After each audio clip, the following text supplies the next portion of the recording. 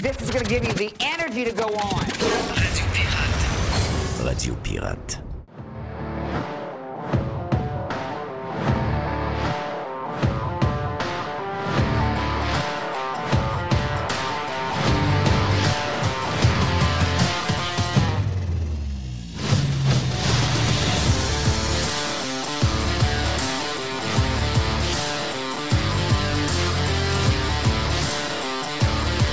On fait du placotage de début de semaine, si ça vous tente. Jerry, t'es euh, salué. Mr. White également.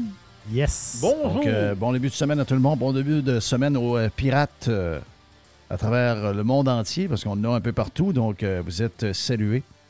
Euh, du placotage de même, euh, vite. Je sens les mains. là. Euh, L'histoire de Daniel Brière qui a fait jaser cette semaine. Le fils de. Le fils de Ben, c'est Daniel le Brière. fils de Daniel C'est Brière. quand- Le fils de Daniel Brière qui a fait un, qui a fait un fou de lui. Euh, qui a fait un fou de lui à l'âge de 23 ans. Joueur, euh, un gars qui vient d'un milieu, d'un beau milieu, tu sais, qui a, eu, qui a été quand même pri- privilégié dans la vie. Et qui euh, s'est amusé avec un chum ou je sais pas trop quoi à tirer au point de briser une chaise, euh, une, une chaise roulante qui appartenait à une personne qui était euh, aux salles de bain en bas. Tu souvent, dans des bars, les salles de bain sont en bas. Et euh, les gars se sont trouvés bien drôles et ont tiré la chaise en bas. Elle, a- fini par briser. Puis là, ben, ça l'a mis la, jeune femme dans le trouble. Qui a- il manque une jambe. Tu juste de vous raconter l'histoire, je suis son père. Je suis son père, puis je vous jure que j'ai ancré ça. C'est sûr que jamais ça m'est arrivé dans ma vie, mais là, là, là, je perds. Là, là, je me dis, t'as peu. J'ai pas, j'ai pas élevé quelqu'un pendant 23. Oui. Une, une histoire de même à 13 ans, 15 ans, 16 ans. Tu sais, 16 ans, on était un peu cave. Là. Mais là, tu es rendu dans le milieu universitaire. Tu es un adulte, tu as 23 ans. là. Je veux dire, à 23 ans, moi, je n'ai- à 23 ans, je prenais mon pack sac. Ça faisait 3 ans que j'étais morning man dans une station de radio. On était numéro 1 dans une station de radio au Saguenay. Donc, euh, j'étais jeune comparativement aujourd'hui. J'étais sans expérience. Mais je commençais vraiment à savoir entre euh, 23 ans et 15 ans, 16 ans, ce qui est cave, ce qui ne l'est pas. Tu sais, tu dis, ouais. Mais ce qui m'a surpris, parce que j'ai vu par après, d'abord, j'ai vu les tweets de la jeune fille. Euh, j'ai vu que beaucoup de monde sont venus lui aider pour euh, se procurer une nouvelle chaise. Puis j'ai vu qu'elle elle en a eu trop. Elle a dit Arrêtez de me donner de l'argent, j'ai pas besoin. Elle dit Ce que je vais faire, elle dit Je vais acheter la chaise. Merci, c'est très, très gentil. Mais le reste de l'argent, je vais le donner à d'autres qui en ont besoin. Mais là, arrêtez, euh, je je suis pas, je mal pris financièrement.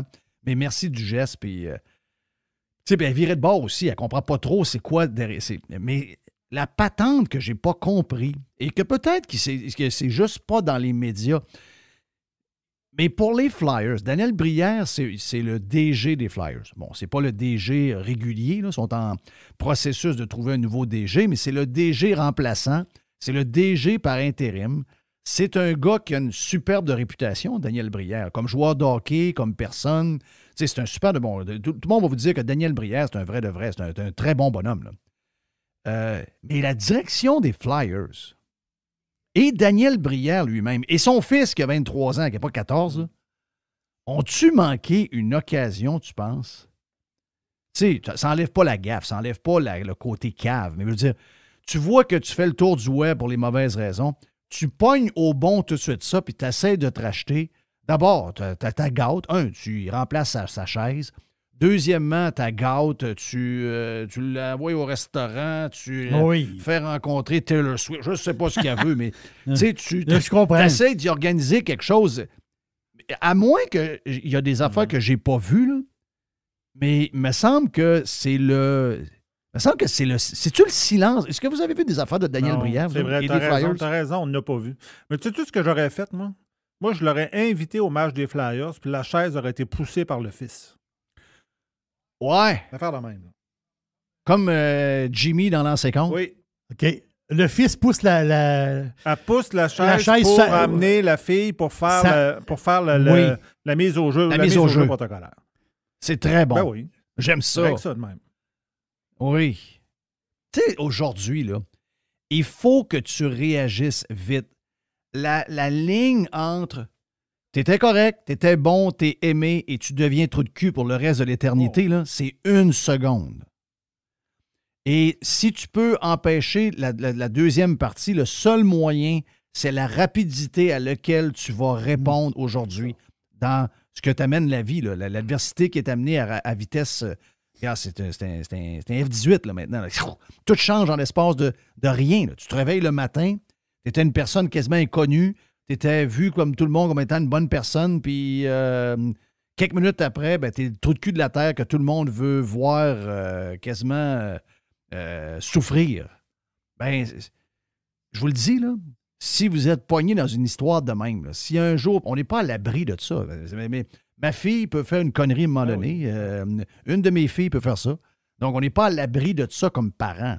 Mais c'est de la manière comment on réagit. Puis on dirait, en tout cas, le feeling que j'ai, c'est qu'eux autres, ils ont voulu enterrer l'histoire avec le silence.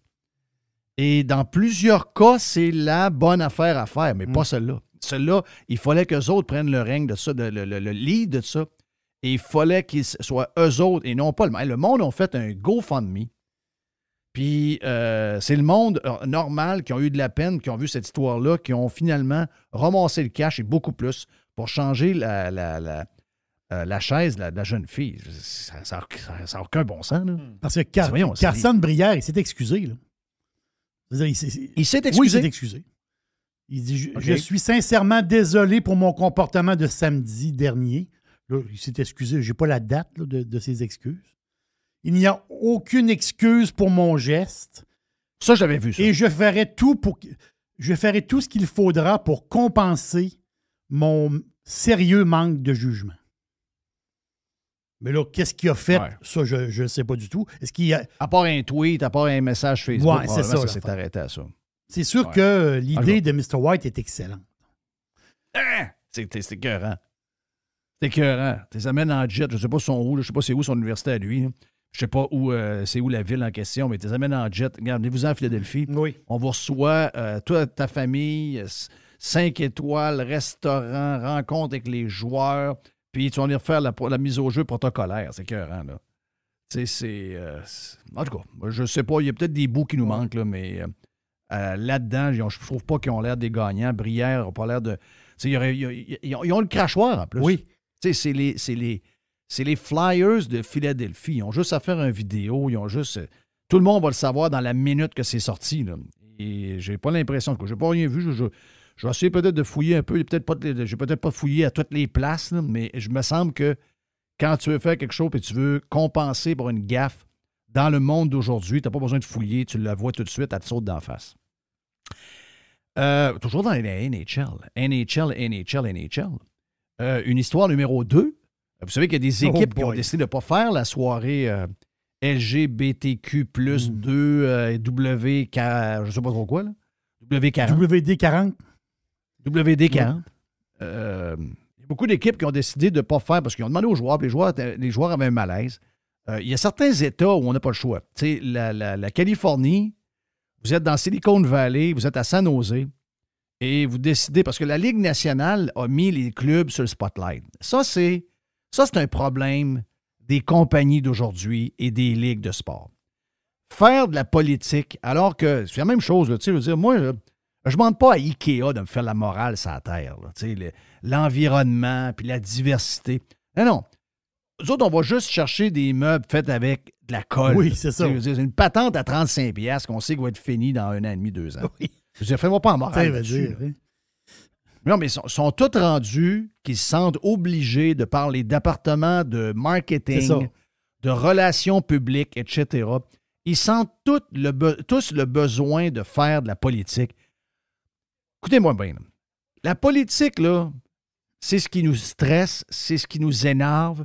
On est obligé de dealer avec, on n'a pas le choix. Parce que si on laisse la politique nous mener, ils vont nous fourrer à longueur de journée. On l'a vu pendant la COVID. Euh, il faut être debout, puis il faut être alerte. En tout cas, du moins du lundi au vendredi, parce que ils vont essayer de vous fourrer, ils vous vont brûler votre argent. Ils vont prendre des décisions que n'avez peut-être pas l'impression que vont vous nuire à cet après-midi, mais vous allez voir que dans un an, deux ans, vous allez sentir les effets de ça. Ils, vont, ils sont toujours en train de vous. Regarde, c'est. On dirait qu'ils veulent toujours chienner votre vie un peu plus, OK? Et c'est, on dirait qu'ils sont, là pour ça. Donc, il faut être alerte. Mais il y a des moments où il faut décrocher. La fin de semaine, on veut décrocher. Le soir, quand on écoute un- une game de hockey, on veut décrocher. On veut, on veut rien savoir. OK? On veut rien savoir. On veut rien savoir de vos les causes que vous choisissez, les acides bebelles que vous pensez plus importantes que d'autres par rapport à d'autres. Regarde, on, on comprend la game, là, on comprend. On est même rendu qu'on met nos enfants devant une, une émission de, de- de- de- de- de- pour enfants. Puis euh, il y a un genre d'âne en dessin 3D qui parle. Puis l'âne parle à son père. Il est en train d'y expliquer que lui, les pronoms puis les affaires de même, il veut rien savoir parce qu'il n'y a pas de genre. Mm. Tu sais, je veux dire, c'est. Imaginez-vous, vous êtes là le samedi matin, vous installez vos enfants devant la Ah oui. TV, puis ils font de la politique encore, même dans une émission pour enfants. Excusez-moi, c'est complètement sauté. Donc, le but là, de ce que je vous dis, c'est que la Ligue nationale, moi, demain matin, je suis boss de la Ligue nationale. La première affaire que je dis à tout le monde, toutes les équipes, hey, nous autres, là, on a une job. C'est le hockey. OK? Nous autres, on vend le hockey. Il faut que les, plus de jeunes jouent au hockey. Il faut que. OK, on, on- tout le reste, là, tout le monde s'occupe de le bebel, mais nous autres, on a une bebelle à s'occuper, c'est le hockey. Ben non, ils sont pas capables. Ils sont pas capables. Là, ça prend un moment donné, ça prend telle affaire. C'est sûr que des affaires, des fois, qu'on était comme, ah, OK. Tu sais, il arrive avec des chandails pendant la pratique, avec un genre de chandail un peu pour aller à la guerre. OK, bon, c'est sur saluer les vétérans. Ah, là, ça commence là. Ça, ça le dérange moins, mais ce qu'on ne sait pas, c'est qu'une fois qu'il tombe là-dedans, après ça, il n'y aura plus de fin. Et là, on est rendu avec les chandails, toutes sortes de couleurs, pour des. Regarde là. Ça n'a rien à voir avec l'homophobie, ça n'a rien à voir avec les homosexuels, mais le monde trouve que les patentes, les associations LGBTQ, ça n'a plus, ça, de rapport. Tu sais, euh, on n'est on est plus où ce qu'on était il y a 30 ans, 35 ans, d'essayer de faire de la place à tout le monde pour que tout le monde. C'est plus ça, là. Là, on est rendu dans les marginaux. C'est les hyper marginaux qui ont profité du nouveau monde qu'on s'est bâti pour essayer de devenir comme du monde.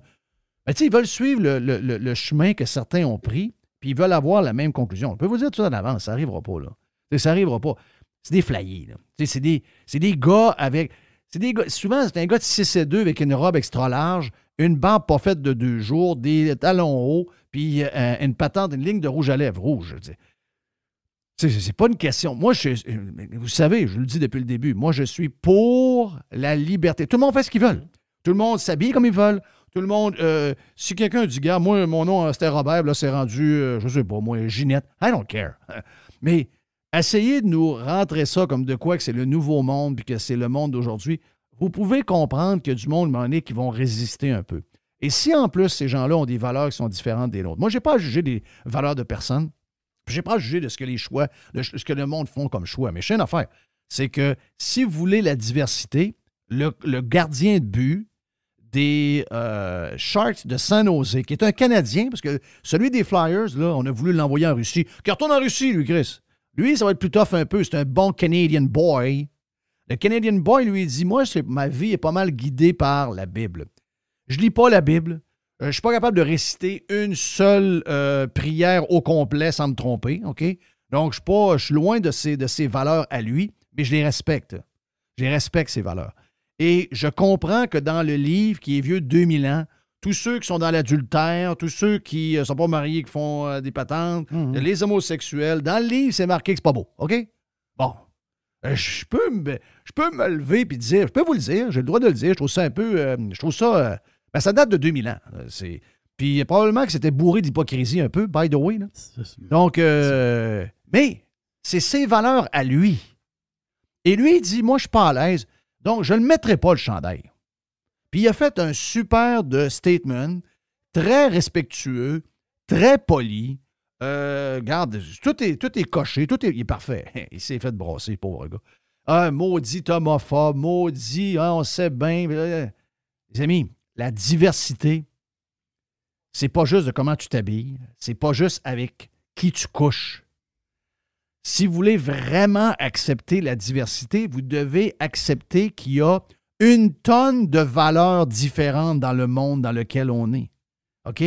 Puis les miennes sont pas meilleures que ceux de l'autre bord de la, de madame de l'autre bord de la rue. Ça, c'est dur à comprendre pour beaucoup de monde. Ben oui, mais c'est dur à comprendre, Jerry. Je vois Ouais, le mais si, si tu un bonhomme qui est, ou une bonne femme qui est propriétaire d'une équipe de hockey de la NHL. Puis elle, mettons, il y a plusieurs années, quand c'était, quand, quand c'était très, très à la mode, lui, il dit pendant la pratique, on met une calotte rouge sur la tête. Hein? Non, non, nous autres, euh, quand on pratique, nous autres, on veut, nous autres, là, on veut encourager Donald Trump, à, mettons, à- puis on a une cause, nous autres. Là. Moi, ma cause, Oui. moi, je, suis pas- moi, je suis propriétaire de mon équipe de hockey, puis Nous autres, on est maga. moi, je suis très maga et j'oblige mes joueurs à mettre des casquettes. Il va y avoir des joueurs pas de casquettes, là. Les deux joueurs pas de casquette, du jour au lendemain, ça devient des héros dans les journaux. C'est ça. Puis des joueurs avec des casquettes, c'est des caves. C'est ça. Ben non, Donc, ça dérape beaucoup. Ça c'est le ce que je veux dire, c'est ça- c'est- c'est imagé, là. Mais ce que je veux dire, c'est encore de vouloir diviser. Oui. Si Reimer met pas le gilet, il met pas le gilet. Puis l'autre personne met un gilet, mais il met le gilet. C'est c'est ça la beauté. Et On fait, Ah oui. on, on est libre. Là, là tu obliges quelqu'un à mettre un gilet. Puis s'il ne met pas le gilet, tu le traites de cave. Mais ça, c'est très diviseur, là. Tu veux une diversité, puis tu es contre la diversité. C'est quoi tu veux? Je Ben, comprends plus, moi. Moi, je comprends plus rien. Moi, moi, je, je comprends plus rien, puis on en parle à chaque fois que ça Ben arrive. oui, à chaque, ouais, à chaque fois. La diversité, c'est c'est gros de même. là. Et ça inclut les opinions, ça inclut les valeurs, ça inclut des choses des fois qu'on n'aime pas voir ou on n'aime pas entendre. OK? Euh, je ne sais pas, moi, s'il est homophobe ou s'il ne l'est pas. Je sais juste qu'il se lève debout et il dit Moi, je suis pas à l'aise avec ça. À partir de là, c'est quoi que je fais? Je l'attache puis euh, on y met un goût de chinois jusqu'au temps qu'il dise qu'il est correct avec. C'est quoi qu'on fait, là? Eh, non, c'est que lui il est le même. Puis, euh, je sais même pas, peut-être que son frère est gay. hein? Puis, euh, finalement, ça change quoi? Dans, il mange à Noël avec pareil. là? Donc, tu sais, il y a ces. il y a- il y a ces- Là, après ça, là, Ah, là, après ça, il y a une dérape, là. Là, il y a une dérape, là, euh, journalistique. Je te donne un exemple. Un qui vient... Ah, François Gagnon. Non, un qui vient de parler... Je sais pas, François Gagnon, j'ai pas vu. Mais un qui vient de parler... François Gagnon, il a, dit- il a fait une patente de même. François. Gagnon, c'est le même, le gars d'RDS. là. François Gagnon qui a dit pendant la COVID, lors des histoires des euh, non-vaccinés avec le passeport vaccinal, c'est quelqu'un qui a dit nous devrions empêcher les non-vaccinés d'aller chercher de l'alcool à la SAQ et nous devrions les empêcher de prendre des take-out. OK? Donc, la diversité, là, lui, il défend la diversité. Il dit, hey, c'est écœurant, Reimer, quelle époque qu'il est, puis etc., etc.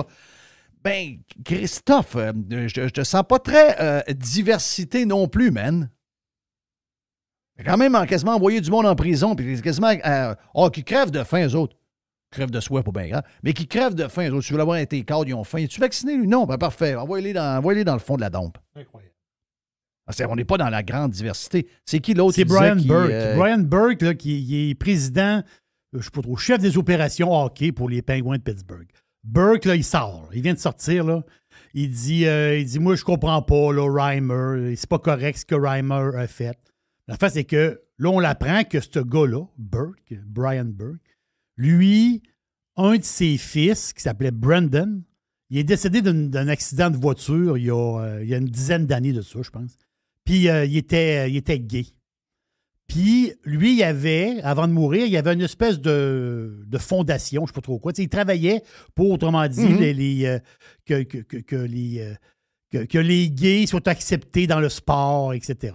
Donc là, Brian Burke sort, puis il dit ouais, ça n'a pas de sens, Reimer, telle affaire. Mais c'est ça que ça fait. Ça, que ça fait, c'est qu'il va sortir une personne, une autre personne, une autre personne, une autre personne. Si tu, si tu fais la journée du gilet, puis Reimer, puis un autre gars, mais pas de gilet, ça finit de même. Puis la journée est terminée, puis tout le monde est content. Mais si tu obliges, ben là, tu mets au pilori quelqu'un, puis là, après ça, ça ressort. Là, ça sort. Là, ça va être Voilà. Burke. Puis là, il va y en avoir d'autres qui vont sortir. Quelle époque? Quelle époque? quelle époque euh, c'est c'est- c'est la division tout le temps, tout le temps, tout le temps, tout le temps. Tout le temps. Je suis tanné de ça, tu peux pas Ah oui, ça prend, ça prend un mauvais, ça prend un bon, ça prend. C'est c'est juste comme ça que ça marche Mais ça maintenant. revient à C'est ce que c'est tu la seule Ça manière. revient à ce que tu disais, Jeff. Vous faites du hockey, vous, vous avez une ligue de hockey, faites du hockey. C'est ça. Jouez du hockey. Arrangez-vous donc pour que le monde aille à l'aréna, là, puis ça, ça coûte pas trop cher. C'est déjà, c'est Ouais. déjà pas mal euh, T'sais. une grosse Tu sais- affaire. tu sais, la réaction, là, c'est que moi, ma mère, est, mettons, euh, je, je te donne un exemple. Ma mère est décédée du cancer, puis il y a une marche contre, pour, pour le cancer. Là, je vais prendre une marche avec ma femme pour le cancer. Puis là, euh, c'est une marche pour ramasser de l'argent pour le cancer. Puis là, je parle de tout ça, mettons, à un de mes frères. Là, je dis, viens-tu marcher avec nous autres pour le cancer? Il dit, ah non, je peux pas samedi. Euh, Ben, voyons, euh, tu peux pas marcher pour le cancer?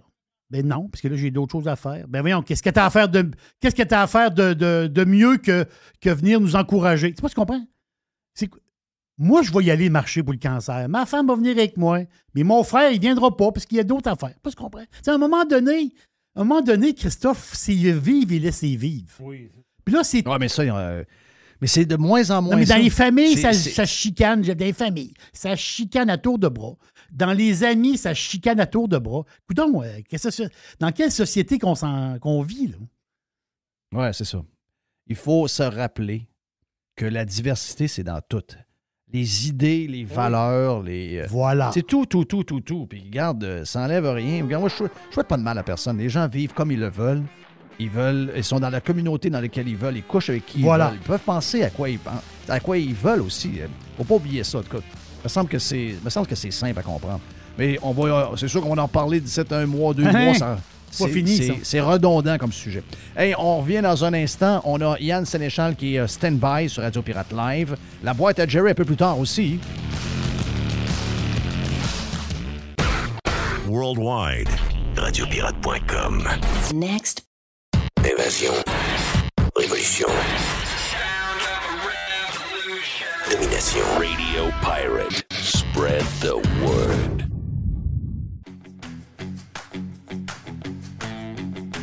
Jerry, on t'a pas entendu euh, ce matin. On a eu euh, pas mal de choses ce matin. Ben, on a eu un problème de web en partant. Donc, euh, on a comme été bousculé dans notre horaire. Puis, on n'a pas entendu rien de la boîte dans l'édition Prime de Radio Pirate Prime tout à l'heure. On va s'en prendre, on va s'en prendre. après Yann, ça va Ben c'était- c'est toi qui es en vedette.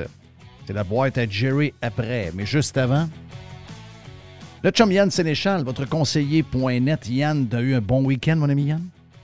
Yes, yes. Écoute, euh, premier week-end de famille sans période REER, donc une vie normale, enfin. Euh, Oui. euh, non, ça fait du bien. ça fait beaucoup de bien.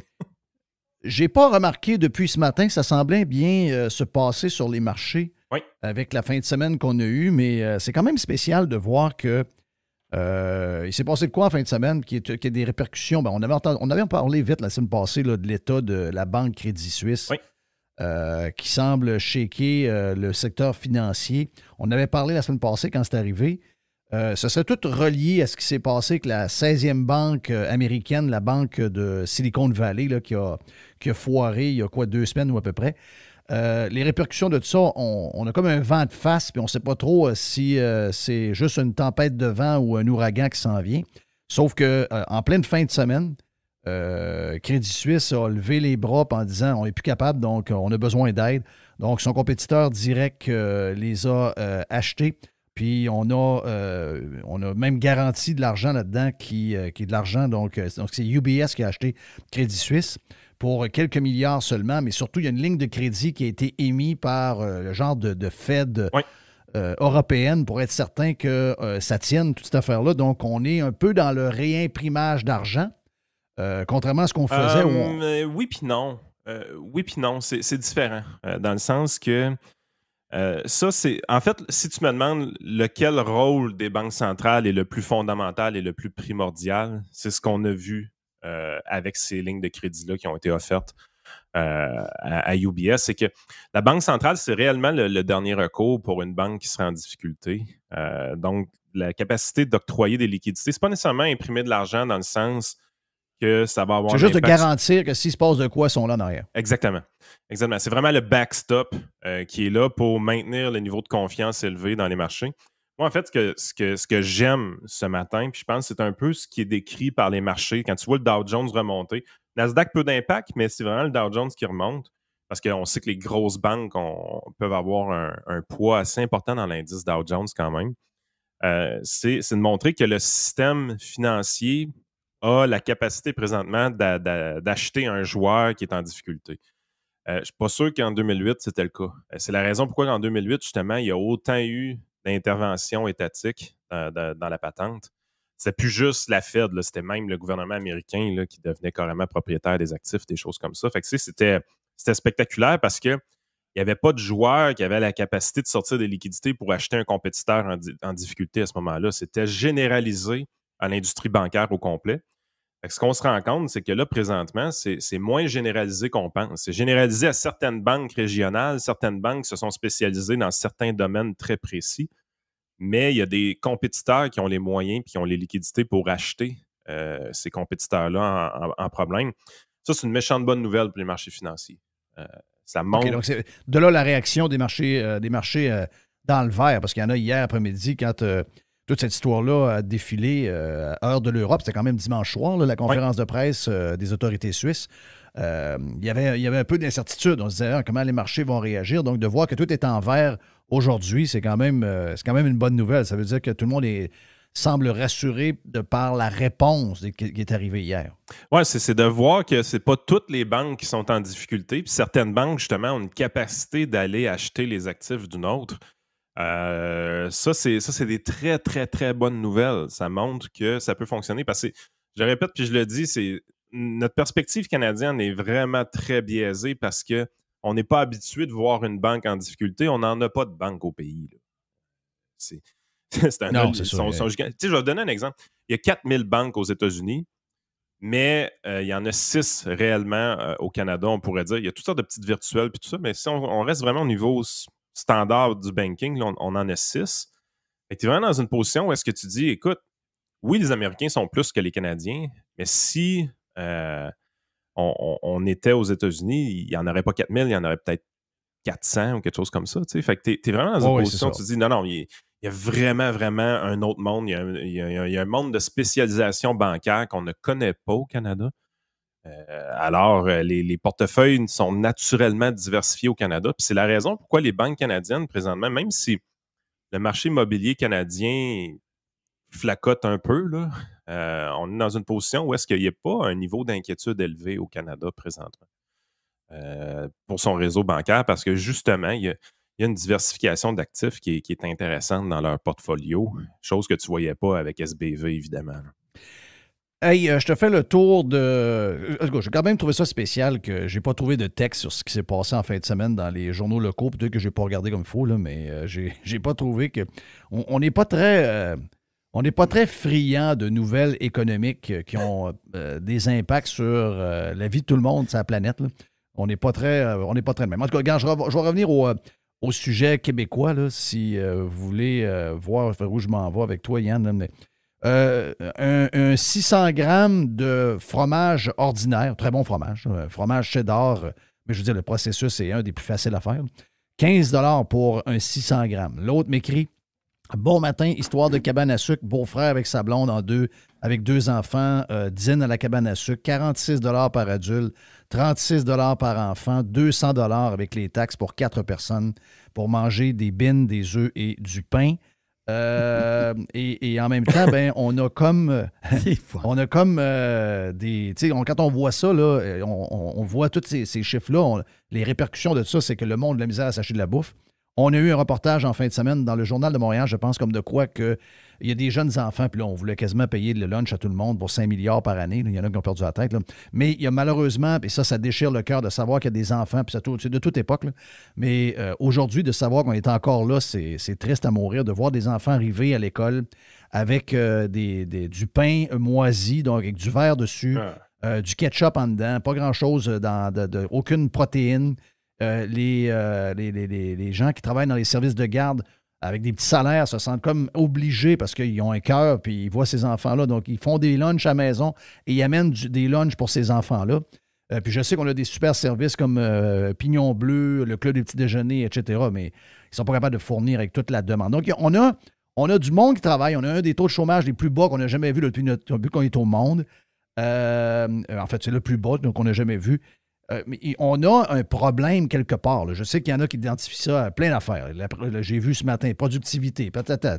Ouais. Mais si on était capable de faire le tour de tout ça, comment ça se fait que le Québec, et ça, moi, c'est une des choses qui me, euh, que je comprends pas. Là. Quand j'étais jeune, on me disait Hey, si tu t'en vas à Londres, là, amène, euh, amène-toi une grosse carte de crédit parce que ça coûte cher à manger. Si tu t'en vas à Paris, ça coûte cher. Et là, maintenant, nos chums qui vont à Londres et à Paris comme pilotes d'avion nous disent que maintenant, la bouffe à Londres, et Gilles Parent comme touriste, Gilles qui a fait les deux villes récemment, dit dans les restaurants, c'est moins cher à Londres et à Paris qu'à Québec maintenant. Ah. C'est quoi qui nous arrive et qu'est-ce que- qu'est-ce qu'on fait avec ça? Ben, Il y, a- y y deux affaires distinctes. Puis je pense que euh, j'embarque à 100% dans ce que tu dis pour euh, les restaurants, parce que c'est un bien de luxe, puis notre bien de luxe est, est plus dispendieux qu'ailleurs. Ça, je pense que ça s'observe assez facilement. Puis, euh, puis on y reviendra. Le- du côté du, euh, des enfants, les lunchs, je penche du côté du mauvais parenting plus que de l'économie, puis je t'explique. N'importe quel bon parent, là, peu importe le budget, peu importe les difficultés financières, tu coupes jamais dans le lunch de tes enfants.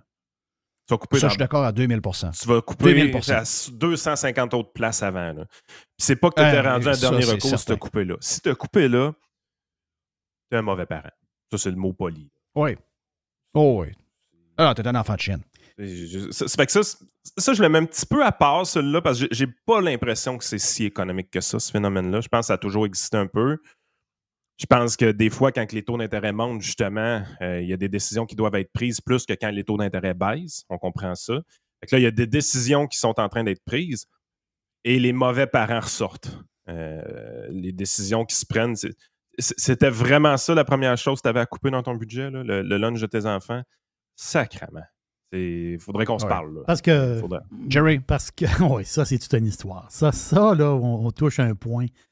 Le, le problème, je vais vous le dire, c'est quoi le problème? Le problème, c'est que pour. Quand tu es pauvre, faut que tu cuisines. Pour être capable d'arriver, faut que tu cuisines. C'est Vrai. faux. Sais, si en ce moment, tu as des. C'est rare qu'on voit ça, je vais le dire. C'est rare qu'on voit ça. Tu as, des. euh, t'as- t'as- t'as, euh, du poulet en spécial quelque part. Donc, tu vas au panier extra. Il y a, des il y a du poulet en spécial. Mettons, tu achètes des cuisses de poulet chez Panier Extra. Mais les cuisses de poulet, faut que tu les fasses cuire. Les cuisses de poulet, si, mettons, tu veux, tu veux faire, mettons, à ton enfant un sandwich au poulet, il faut que tu défasses les, faut que tu défasses les, les cuisses qui sont, qui sont cuites. faut que tu mettes ça dans un plat, tu ça dans le frigidaire, puis là, tu vas faire des sandwichs au poulet avec ça. Tu a, il y a de l'ouvrage à faire. Ils veulent pas la faire, l'ouvrage c'est le gros problème des gens pauvres, c'est qu'ils veulent pas ils veulent pas travailler. Oui, mais la réponse, c'est Ils veulent pas pire. travailler, On, pas juste on va dépenser 5 milliards pour faire des lunchs à tout le monde, incluant les enfants qui en ont déjà. Je veux dire. C'est- tu- T'es-tu en train d'aider quelqu'un en faisant Non. ça? T'es en train de déresponsabiliser encore plus. Oui, ah oui, t'empires le problème. oui, T'empires le problème. une, une boîte de nouilles, une boîte de nouilles, je comprends le steak haché il est cher, mais t'en mets pas beaucoup. Une boîte de nouilles, il un peu de t- tomate dedans, telle affaire, tu vas faire un genre, de- tu mets, tu de, regarde, t'égraines un petit peu de fromage, tu fais quelque chose de le fun. T'es capable de cuisiner, je comprends, ça coûte cher, je comprends tout ça, là. Mais pour sauver, on le fait nous autres mêmes. On le fait nous autres mêmes. On cuisine pour manger à moindre coût. Moi, je me fais des festins, puis ils me coûtent pas si cher que ça. Là. Des fois, je Moi, fais des... je, je- je financerais mieux la DPJ avant d'offrir ça. des lunchs à tout Moi, le des monde. fois, je fais des blagues à ma blonde. Là, on, Oh, soupe euh, samedi soir. Là. Je dis à ma blonde, je regarde sa table, là, il y a 18 pièces. Des fois, ma, blonde, elle s'alénarde quand je dis ça. Là, je dis, alors, alors, regarde ce qu'il y a sur la table. Là, il y a 18 pièces sur la table. Ah, euh, Puis c'est une fiesta. là. c'est ça. Ouais. Enlève la bouteille de vin. Là. Euh, Retourne sa bouteille de vin. Il y a 18 pour ça dollars que- sur la table. Mais Christophe, c'est un festin, on est trois. Là. Mais c'est pour ça que le point de Jerry prouve un peu la, la première partie de, de ton introduction qui, elle, était, était sa coche. Comment ça que la restauration nous coûte cher comme ça ici? Mhm. Euh, parce qu'effectivement, quand tu vas un peu à l'extérieur, puis tu sais, des fois, on est un peu cabochon. Là. On arrive, on dit, mettons, tu vas aux États-Unis, là, tu vas arriver, tu vas faire la conversion euh, des dollars euh, canadiens dans ta tête ça. en américain. La raison pourquoi il ne faut jamais faire ça, c'est la chose suivante. Les dollars ou la monnaie que tu utilises, là, c'est jamais, jamais, jamais euh, ça qui est déterminant, c'est quoi le prix? Ce qui, est dé- ce qui détermine le vrai prix, en fait, c'est le nombre d'heures travaillées pour obtenir quelque chose. Généralement, les gens qui font le service aux tables ou la vaisselle ou la cuisine, c'est pas des gens qui ont des salaires exorbitants. Fait qu'à un moment donné, tu arrives et tu te dis, OK, au Québec, l'employé du Subway, on va faire de quoi de simple, l'employé du Subway qui fait un 12 pouces, là, combien d'heures il doit travailler de son Hum. côté? Pour se payer lui-même un 12 pouces qu'il a fabriqué? Puis si tu veux comparer aux États-Unis, ben là, il ne faut pas que tu arrives et tu prennes ton dollar canadien et tu fasses la conversion. Il faut que tu te poses la même question. L'employé du Subway aux États-Unis doit avoir un statut social et économique sensiblement pareil qu'au Canadien. Je veux dire, C'est à peu près les mêmes types de personnes qui vont travailler là, hein. soit un étudiant, une personne un peu plus âgée ou une personne qui a moins de scolarité. On comprend un peu l'idée, c'est pas péjoratif, c'est la réalité. là. Ben, la personne qui fabrique le Subway aux États-Unis, combien d'heures elle doit travailler pour pouvoir s'en payer un? Plus souvent qu'autrement, si vous faites l'exercice, vous allez vous rendre compte qu'on travaille beaucoup moins longtemps dans un Subway pour se payer un Subway aux. États-Unis qu'on travaille au Québec pour se payer un Subway au Québec. Ça, c'est vrai pour un McDo, puis c'est vrai pour tout. Là. Euh, Yann, l'exemple, l'exemple que je donne le plus souvent, c'est que la fameuse pancarte en avant du McDo, ben, c'est la même maintenant ici. Tu sais, avant, on entendait Ah, ben le salaire minimum est plus élevé chez nous, euh, etc. Mais- Mais là, aujourd'hui, c'est la même affaire. Euh, donc, euh, c'est 18 piastres. C'est marqué 18 piastres, puis avec la même affaire en général. C'est quasiment la même pancarte. là. Donc, c'est 18 piastres. Mais malgré ça, je veux dire, si je vais manger avec ma blonde puis que je prends la- l'application, ben ça me coûte 12 piastres, 12 piastres et demi, deux lunchs au McDo. Donc, euh, je vais me dire peut-être qu'il compense par le volume. Je, sais- je sais pas, on dirait que moi, c'est- le feeling que j'ai, c'est que depuis la COVID, les restaurateurs ont fait, autre- c'est sûr qu'ils étaient aidés à tour de bras par le gouvernement, mais ils ont fait de l'argent avec le take-out. Oui. Donc, dans le tête, sont comme passés d'un mood ou d'un mode, je devrais dire. Euh, le mode, j'aime mieux faire moins de volume avec plus de profit que ce qui existait avant, même dans l'industrie du fast-food. Dans l'industrie du fast-food, c'était on en fait beaucoup, on en fait moins, mais vu qu'on en fait beaucoup, on en fait beaucoup. Et là, aujourd'hui, c'est moins ça. Ton input est probablement bon. Euh, L'idée, par contre, il y a peut-être un lien avec la COVID, mais le lien, je le verrai ailleurs, dans le sens que, en étant dans un mode de pénurie de main-d'œuvre un peu, ils ont eux autres, ils ont de la difficulté à se trouver du monde. Euh, puis ils se sont fait voler du monde par le gouvernement comme c'est pas possible. Euh, quand tu parles à des restaurateurs, c'est vraiment ça qu'ils vont te dire. mais la plupart des employés qui travaillaient ici avant la pandémie, ils ne travaillent plus ici. là. Un qui travaille au gouvernement, l'autre travaille au gouvernement, l'autre travaille au gouvernement. Euh, fait, que la difficulté au niveau de la main-d'œuvre les amène à avoir exactement ta réflexion. Dire, OK, si j'ai plus la possibilité de faire du volume parce que je manque de monde, ben, je vais au moins m'assurer de faire de l'argent. Euh, oui, on, on joue sur les prix à ce moment-là parce que justement, on n'en veut pas trop de monde. Comment qu'on règle le problème Ben, ou comment qu'on évite de créer ce problème-là? Ben, c'est plate, mais il faut le dire, dans les dernières années, les trois dernières années, il y a probablement beaucoup de restos qui auraient dû fermer qui n'ont pas fermé parce qu'ils n'ont Ouais. jamais fait de l'argent de même de leur vie, parce qu'il y avait toutes sortes de programmes gouvernementaux qui étaient accessibles de leur côté. C'était les plus touchés par les fermetures, donc c'était aussi indirectement les plus subventionnés. Il y a quand même 17% qui ont fermé. C'est eu- probablement pas assez. il y a eu un ménage. Oui, c'est ça. Je comprends ce que tu veux dire. Parce que, étant donné que présentement, la denrée qui est rare dans la restauration, c'est pas la bouffe, c'est les, les- c'est le personnel. Ben, tu es dans une situation où est-ce qu'il aurait dû en fermer plus carrément. Euh, puis euh, c'est de même que le marché va se rééquilibrer. Moi, à mon avis, il va y avoir des abandons dans les prochains mois, prochaines années au niveau de la restauration. Vous allez voir la quantité de restauration que vous aimiez diminuer, ce qui va amener les employés à se redistribuer dans les autres jusqu'à temps qu'on réatteigne un équilibre, puis que là, on ait le goût de recommencer à faire du volume. Euh, mais tu as raison, présentement, c'est pas le volume qui, qui est payant parce que tu as de la misère à faire du volume, parce que tu n'as pas assez de monde pour faire du volume. À ce moment-là, tu veux conserver ta marge de profit. C'est quoi tu fais? Tu augmentes les prix? Tu peux pas faire de volume de toute façon. Fait que même si les gens sont insatisfaits des prix, tu te dis ça donne bien. J'ai pas besoin d'avoir de remplir ma salle comme avant. Et Je peux pas remplir ma salle comme avant de toute façon. Euh, fait que ça, c'est là qu'on voit comment l'économie, les ajustements se font, mais ils se font vraiment sur des longues périodes de temps. Si on fait un scénario où est-ce que la COVID arrive, puis oui, il y a des restaurants qui ferment à cause du gouvernement, puis il y a une, légère compensation qui été mise euh, pour les, leur permettre de survivre, c'est une chose si ça dure 5-6 semaines. Si ça devient un mode de vie pendant deux ans, c'est là qu'on voit que c'est problématique. Toutes les faillites qu'il aurait dû avoir, ils n'ont pas eu lieu. Toutes les fermetures qu'il aurait dû avoir n'ont pas eu lieu. C'est que ça a fait que tout le monde a été maintenu en vie artificiellement et Ouais. les employés n'ont pas été redistribués dans les meilleurs restaurants. Il y a des excellents restaurants bien gérés où est-ce que les employés sont bien payés, où est-ce que les employés sont confortables dans les cuisines parce que les cuisines sont climatisées, puis même eux ont de la misère à trouver du personnel. Ben, ça, c'est un problème. Ils devraient être capables d'en trouver, mais il faut arrêter de faire survivre des business qui euh, ne méritent pas de survivre. Tu sais, euh, on dévie un peu du sujet, mais regarde, on a eu les skidoo qui étaient en difficulté, ski- les skidoo électriques. Ben, le gouvernement il est tombé les deux mains là-dedans, puis ils veulent subventionner ça. Ah, il faut maintenir les emplois en Hey, région. ça, c'est quoi l'histoire? Mais comment on, comment on peut laisser ça aller? C'est quoi qui nous arrive? C'est je- quoi qui se passe? Je- Comment ça qu'ils ont le droit de faire des patentes de même, d'aller sauver une entreprise que tu vois bien qu'ils iront nulle part? là?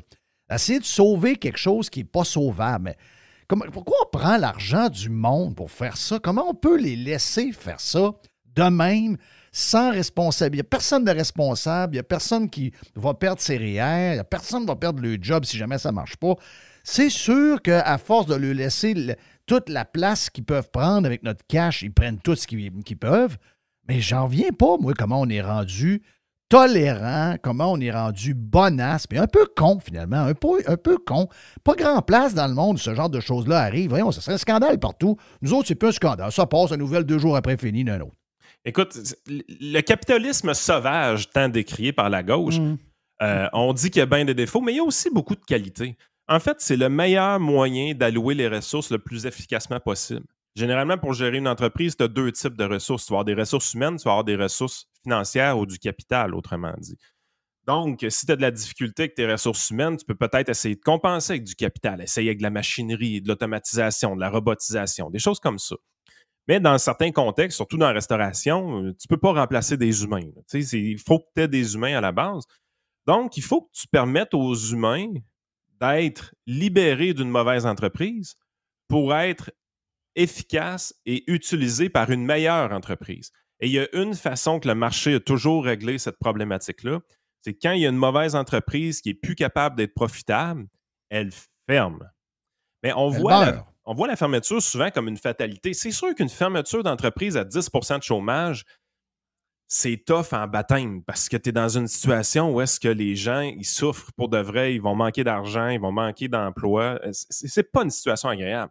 Sauf qu'une fermeture d'entreprise à 3,4% de chômage, c'est loin d'être la fin du monde. En réalité, c'est quelque chose de bien qui arrive dans cette circonstance-là parce que tu permets au capital, donc arrête d'investir dans une mauvaise entreprise, dans une mauvaise idée, ici présent, des skidos électriques, et tu permets aux gens de se déplacer dans d'autres entreprises.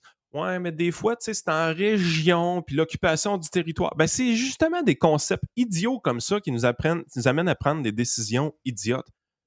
À un moment donné, s'il n'y en a pas de job où est-ce que tu vis, tu as le droit de déménager aussi. Ça peut arriver d'être ça la solution. Les villes sont souvent des hauts lieux de productivité. Ça change présentement. Les centres-villes sont délaissés. Puis, grâce au télétravail, on peut retourner en région. Peut-être que les régions vont être attirantes pour des jobs de col blanc éventuellement, mais pour d'autres types de jobs, peut-être que c'est mieux d'être en ville. Who cares? Who knows? La réalité, c'est que moi, je ne sais pas. Tu ne sais pas, puis personne ne le sait.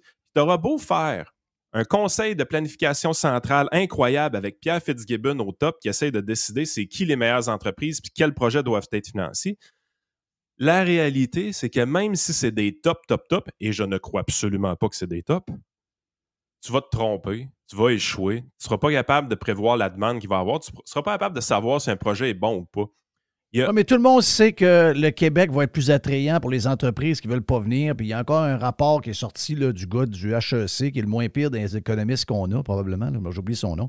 Mais on le sait qu'on donne à peu près 7 milliards et demi de subventions de même, dans lequel le, le trois quarts ne feront rien, là, parce que les entreprises vont disparaître quand même.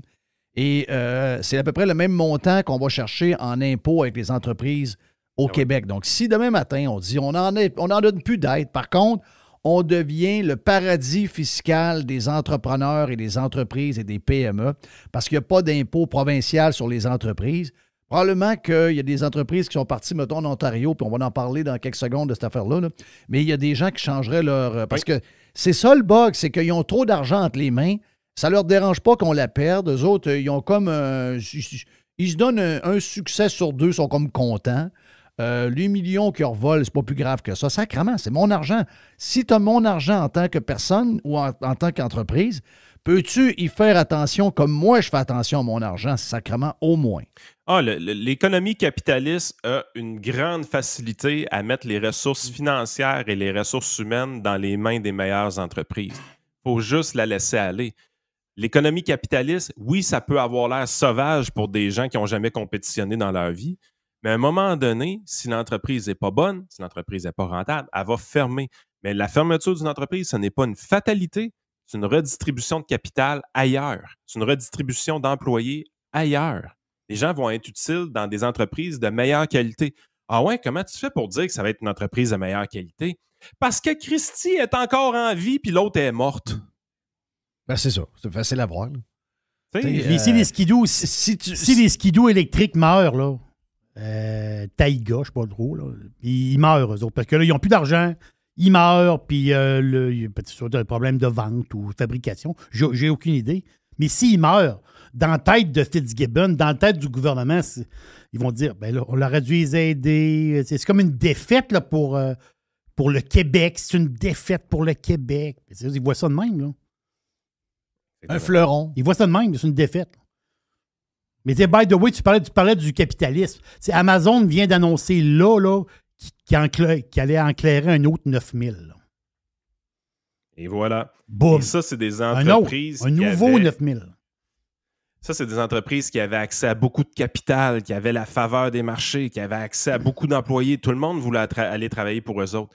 Mais c'est des entreprises qui avaient tellement une facilité à faire des profits qui n'ont jamais eu réellement de pression de la part de leurs actionnaires pour augmenter la profitabilité, donc de faire le ménage dans les dépenses.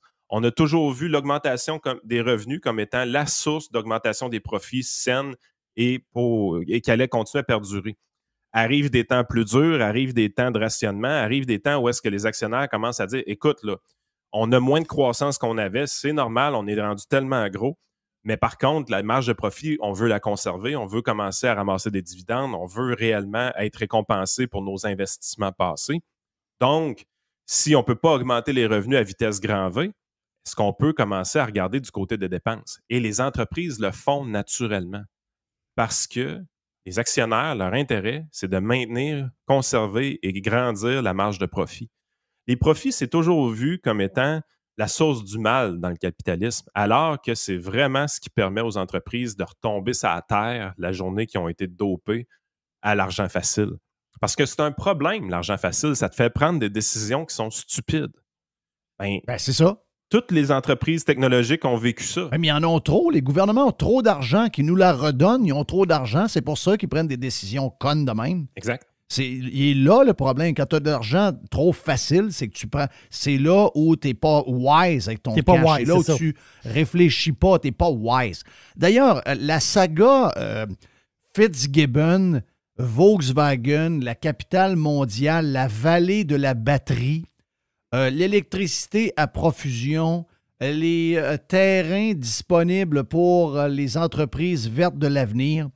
Là, on apprend que, un, Volkswagen ne nous a jamais pris au sérieux. C'est des gens qui. On, on s'en occupe pas bien. c'est des gens qui font à croire qu'ils ont à cœur de faire du développement de batteries. Ils sont pas équipés. On n'a pas de courant disponible pour eux autres. Puis en plus, le Québec qui regorge de terrain a pu savoir quoi en faire. Il semblerait qu'on n'a pas de terrain pour accueillir Volkswagen. Je veux dire, euh, ça, c'est une autre histoire. Ça, c'est une autre patente qui nous montre qu'on vit dans un monde un peu imaginaire où on se fait des grands, des phrases creuses. La, la capitale mondiale de l'intelligence artificielle, la capitale mondiale des batteries. On n'a pas encore une maudite batterie de fête. On est le savoir-faire de l'électricité, puis le, gaz naturel, on n'a pas besoin. Puis après ça, euh, regarde, mettez-en, mettez-en, mettez-en, on peut rajouter plein de paquets d'affaires. Mais là, il n'y a rien de ça. On n'a jamais été en liste vraiment pour avoir Volkswagen. On est loin de ce qu'on nous raconte, là. Oui, puis c'est la raison pourquoi il faut arrêter de truster les politiciens, puis il faut eux enlever le chéquier. Euh, si vous voulez réellement qu'on ait du succès dans l'économie, il faut enlever le politicien comme décideur dans l'histoire. Il faut enlever le politicien comme décideur qui va être les gagnants et les perdants dans l'histoire. C'est plate faire confiance à la fameuse main invisible de l'économie de marché. Je comprends le principe. Comme humain, on préfère faire confiance à un individu, puis on fait naturellement confiance à un individu. Puis si cet individu-là est réputé comme étant hors norme, comme étant fantastique, un peu la, la réputation qu'on a montée à Fitzgibbon, ben, les gens veulent lui donner sa chance. Mais je veux dire, Fitzgibbon, c'est pas le premier à se promener avec un chéquier. Il n'y en a pas un qui a réussi à cogner des coups de circuit avec son chéquier.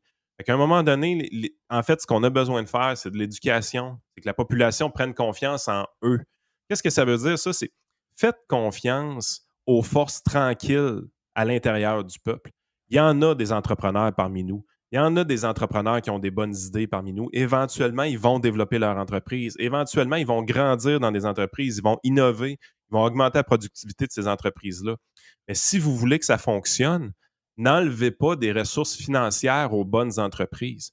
Les entreprises qui ont du succès, qui sont profitables, laissez les profits dans leur poche. Arrêtez de les taxer. Laissez les profits dans les poches des entreprises. Ils vont faire de la magie avec ça.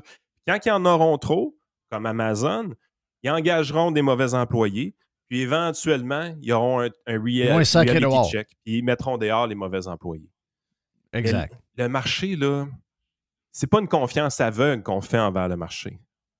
Quand on aime le marché, c'est qu'on comprend les fonctionnements, on comprend comment les entreprises fonctionnent, puis on, comprend comment une entreprise vit aussi des cycles où est-ce que ça va très bien, où est-ce que c'est facile, où est-ce que c'est difficile.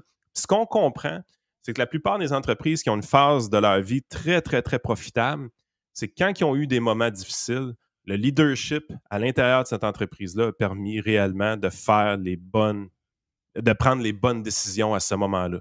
C'est quand c'est tough que ça compte, c'est quand c'est tough qu'on réussit à faire des grandes choses et éventuellement, il y a des grandes récompenses. Il faut être patient, il faut faire confiance à nos entrepreneurs québécois. J'ai plus confiance en des entrepreneurs que je ne connais pas qu'en Pierre Fitzgibbon pour savoir si le Québec va avoir du succès économique dans le futur ou pas. Ben voilà, très bonne conclusion sur euh, Fitzgibbon. Thank you, Yann. Yann Sénéchal, votre conseiller.net.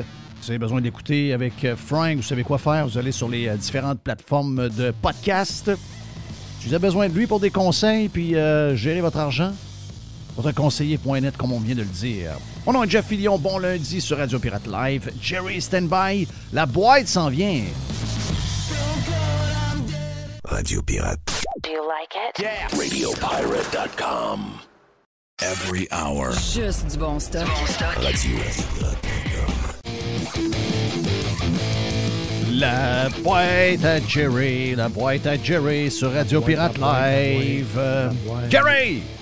On n'est pas fait de boîte dans le prime un matin en plus. Donc, euh, on, est, on est prêt. Euh, ça, c'est une histoire capotée parce que ça, ça l'a touché. Euh, ça a touché des amis, des très, très, très, très bons amis à, ma femme. Les autres, ils demeurent à Lévis, dans le quartier Saint-David de Lévis. Puis dans la nuit du 10 au 11 mars, fin de semaine, imaginez-vous une seconde. Il y a eu 140 véhicules vandalisés dans le secteur. Ben voyons. 140. C'est énorme, là. Vide brisé, miroir cassé, des pneus crevés, ben qui, des graphings, ces chars, 140 chars. le monde va pas bien, hein? Ils ont fait ça pendant la nuit, là. non, mais le monde, le monde va pas bien, là. Le monde va pas bien. Le monde va pas bien. Là, le monde capotait. le lendemain, imagine-toi, là, le call aux assurances. là, c'était c'était la folie là, dans la rue. Mais toi, tout le monde, tout le monde, c'est plein, 140 chars. Mais, mais 140 chars, on a avec toutes les caméras maintenant après maison, là, puis euh, il y a certainement de la gang qui avait un peu d'image. Mais là, c'est ça l'affaire, c'est que là, l'enquête de la police était ouverte, et là, ils viennent de pogner des coupables. Oh. Trois, trois mineurs, trois jeunes pas des farces. Hein. Trois flots. Ils n'ont pas 18 ans. Je ne sais pas, je sais pas quel âge ils ont, on ne sait pas. C'est des mineurs. Il y a trois jeunes ont scrappé 140 chars dans une nuit. Il faut-tu être complètement débile, si boire? Imaginez-vous les parents de ces enfants-là. C'est. c'est, euh, Soit que ça a un lien, pourquoi ils sont de même, ou encore euh, pa- des enfants bien élevés qui. euh, tu sais, des fois, hein, tu des fois, c'est pas toujours les parents. là. Des fois, on est dur avec les parents. Mais des fois, des fois, tu as mis au monde un monstre. Là. Oui.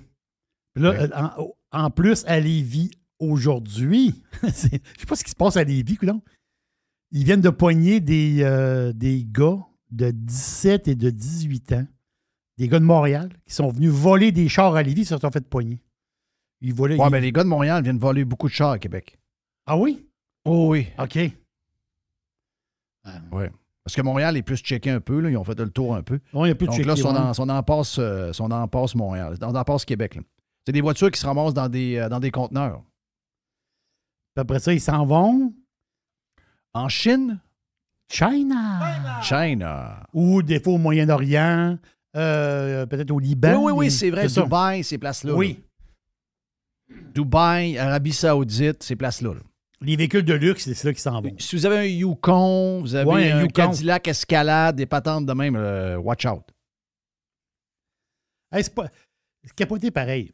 Ça, ça c'est capoté. Là. Au Canada, oh, une des places les plus plates pour voyager, c'est le Canada. Là. Un, ça coûte une fortune, voyager ici. Là. Même des billets d'autobus coûtent une fortune. Euh, Alec nous a parlé d'un billet de bus un matin. Je ne sais pas trop pour sa mère qui est partie de Saguenay, je ne sais pas trop de Dolbeau vers Montréal. Ça y a coûté quoi? 100, 173 piastres. 173 piastres. Un billet, un billet aller, quand Un billet même. aller, oui, en autobus. En autobus. C'est pas. euh, Ah non, oubliez ça. Mais ici, au Canada, c'est très. La face, c'est que oui, c'est très cher au Canada voyager.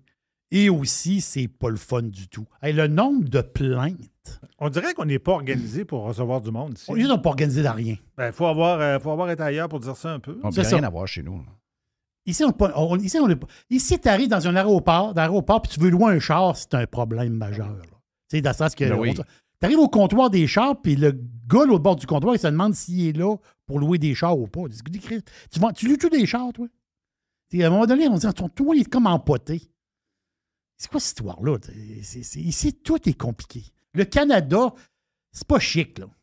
Non. Le Québec en fait partie. là. Le nombre de plaintes ont triplé en 2022. Là, on parle de plaintes. Bagages. On, on se connaît toute l'histoire des bagages. Retard sur les avions. Beaucoup de retard au Canada, beaucoup. Après ça, les problèmes de remboursement de billets d'avion. Tous les problèmes Eh oui, il n'y a plus rien qui marche, là, on va se le dire. Il n'y a plus rien qui marche. Après ça, les, les, euh, les, euh, l'avion qui atterrit, qui arrive à la gate. La gate n'est pas prête. La gate est scrap. Là, ça prend une heure sortir de l'avion. Tu sais, des plaintes là, au Canada, là, c'est. J'ai, j'ai fait le calcul. C'est 120 plaintes par jour. Officielles. Des vraies plaintes officielles. 120 plaintes, c'est 42 000 plaintes. Euh, C'est, c'est, c'est, euh, c'est- ici, là, on est le festival de la plainte. Crif qu'on est dans. C'est-à-dire, c'est épouvantable. Voyager ici, puis il paraît que c'est épouvantable, encore plus pire. Se rendre à l'aéroport. Euh, c'est, c'est compliqué. En tout cas, c'est, c'est- c'est des plaintes. C'est spécial, pareil, que j'ai pas le goût tant que ça d'aller. euh, J'ai pas le goût tant que ça de mag- de- d'aller dans mon propre pays. Tu sais, dans ma, dans, dans ma liste, j'ai pas bien ben Oui. le. J'ai pas bien ben le, Cana- le, le Canada. dans- j'ai pas. Calgary, peut- peut-être probablement. J'ai allé me promener peut-être dans la vallée de l'Okanagan, dans ces coins-là, mais euh, j'ai pas bien, bien de place. Ben, une des raisons, c'est que ça coûte aussi cher aller dans ton pays qu'aller qu'aller dans un autre- que des fois traverser la, la flaque. Là. Tu sais, si c'est si aussi cher aller à Calgary qu'aller à Paris, ça se peut que j'y aille à Paris. là. Exact. T'es, t'es le pays du Père Noël. là. Normalement, ça devrait pas coûter. Normalement, normalement, une place laite un peu, là, comme ici. C'est très beau. Tu dis, oui, il y a des beaux lacs, des belles rivières, des belles forêts. Je comprends, là. Mais en réalité, c'est pas, c'est pas hyper le fun, là, vivre ici. là. Euh, le touriste, il vient voir un peu de neige, puis il s'en va, il triple. Habiter ici, c'est pas le fun. là. Mais normalement, ça devrait être pas si cher que ça. Là. Une Non. place, c'est pas le fun, c'est pas cher. Non, ici, c'est pas Les le places fun. pas en demande, ça devrait pas être très cher. C'est ça, exactement. J'ai un pirate qui m'a écrit chez Jack Astor's. Je ne connais pas les, restaurants. C'est un genre de bar grill qu'il y a dans, en Ontario. Lui, il est allé manger là avec euh, sa femme, ses deux enfants. Un enfant de 14 ans, un enfant de 6 ans. À Aurora, Ontario. Je nomme le restaurant. C'est très beau restaurant, bar, grill, telle affaire. Une petite assiette de nacho en entrée. Tu sais, pour picosser un peu. Là. On picosse, là. Trois coques, un thé glacé. Trois coques, un thé glacé. Une petite assiette de nacho, juste pour dire qu'on picosse pendant qu'il il prépare le lunch. Trois burgers avec frites, assiette. Et une assiette de croquettes animaux pour enfants. 153 piastres. Non, non. Non, non, mais arrêtez, là. OK? non, arrêtez. Arrêtez, arrêtez, arrêtez, arrêtez. Hey, il faut que je te parle de ça. Non, arrêtez. S'il vous plaît. Non, Arrêtez. c'est malade. Arrêtez, arrêtez. Hey, dans 50 jours, dans 50 jours, c'est le couronnement du roi Charles. Alors, oui, les oreilles. Il n'y a pas couronne de sa tête encore, lui, là, là. Sa mère est décédée. Mais lui, c'est pas. tu sais, c'est pas je comprends que lui, il pogne. Il, il- il il ramasse le titre automatiquement. Mais il faut qu'il y ait un couronnement.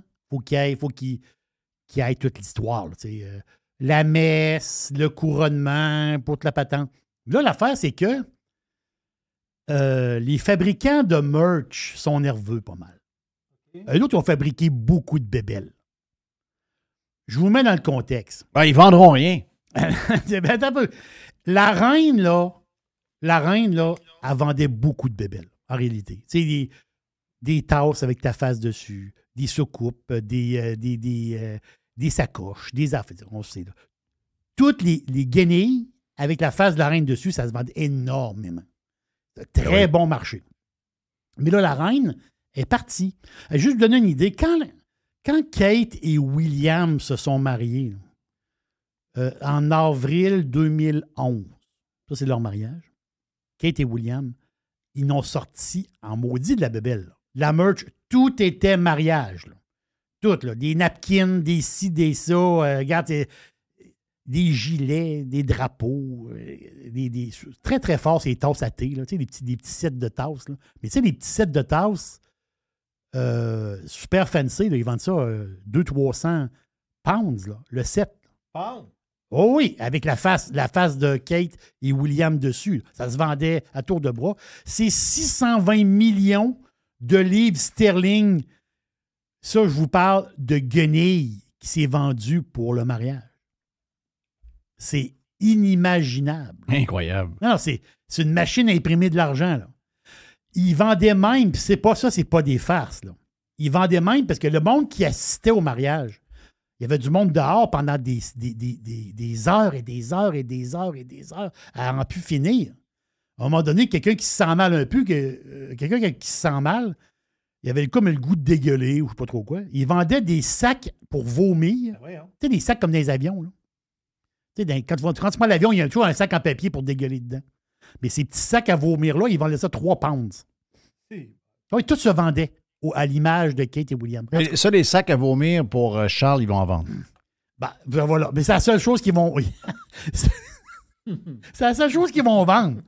Parce que là, les fabricants de merch là, sont excessivement nerveux de la réaction des clients. Il n'y a peur- aucun, il y a aucun, il y a rien. Il n'y a pas de. Il n'y a pas de, de- de connexion entre le monde et Charles. Ben, c'est ça. Ils ont peur. L'affaire, c'est qu'il va y avoir du monde. Ça, c'est sûr qu'il va y avoir du monde. Mais ils ont peur qu'ils restent les mains dans les poches puis qu'ils ne sortent pas le porte-monnaie. C'est- Ils ont peur beaucoup, beaucoup, beaucoup, beaucoup. Énormément. Donc, parce que les autres, ils ont fabriqué. L'affaire, c'est que le mariage, c'est dans 50 jours. Pas le mariage, le couronnement, c'est dans 50 jours. L'autre, il faut qu'ils se préparent à avoir du stock. Mais le stock, ils ont peur qu'il reste ses tablettes. J'ai lu un article là-dessus. C'est assez, euh, impressionnant euh, quand même. Ah, J'ai plein de patentes. J'ai plein de ben, patentes mélangées. euh. Ah oui, j'ai celle-là. Ça, c'est. Est-ce que, vous aimez TikTok, comme disait le, premier ministre du Québec? TikTok. Ben, moi, je suis sur TikTok, puis En fin de semaine, suis encore allé manger une poutine.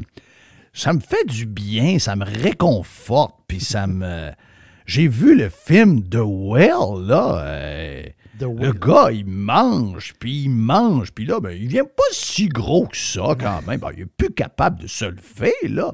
Mais j'ai du chemin à faire avant de devenir gros de même. Donc, j'ai de la place pour une coupe de petites poutines par semaine. Puis là, je suis arrêté dans ma circonscription, là. J'ai arrêté de manger vendredi en- sur la route. J'en ai même pas amené une à Isabelle to go, là. Tu sais, euh, j'ai les... Ben, en fait, je vais vous le dire, je l'en ai amené une dans le taux to go, là, après avoir mangé. Mais il y a eu du trafic, puis là, ça sentait bon dans le char. Là j'ai dit à mon pilote en avant, mon chauffeur, ça te dérange-tu si je mangeais dans le char la poutine à Isabelle? Et là, ben, j'ai mangé ma deuxième poutine. Puis quand je suis arrivé, ben, j'ai dit Isabelle, je t'ai pas amené de poutine. C'est pas bon pour la santé, ça, là, là, un vendredi soir, là. C'est ça.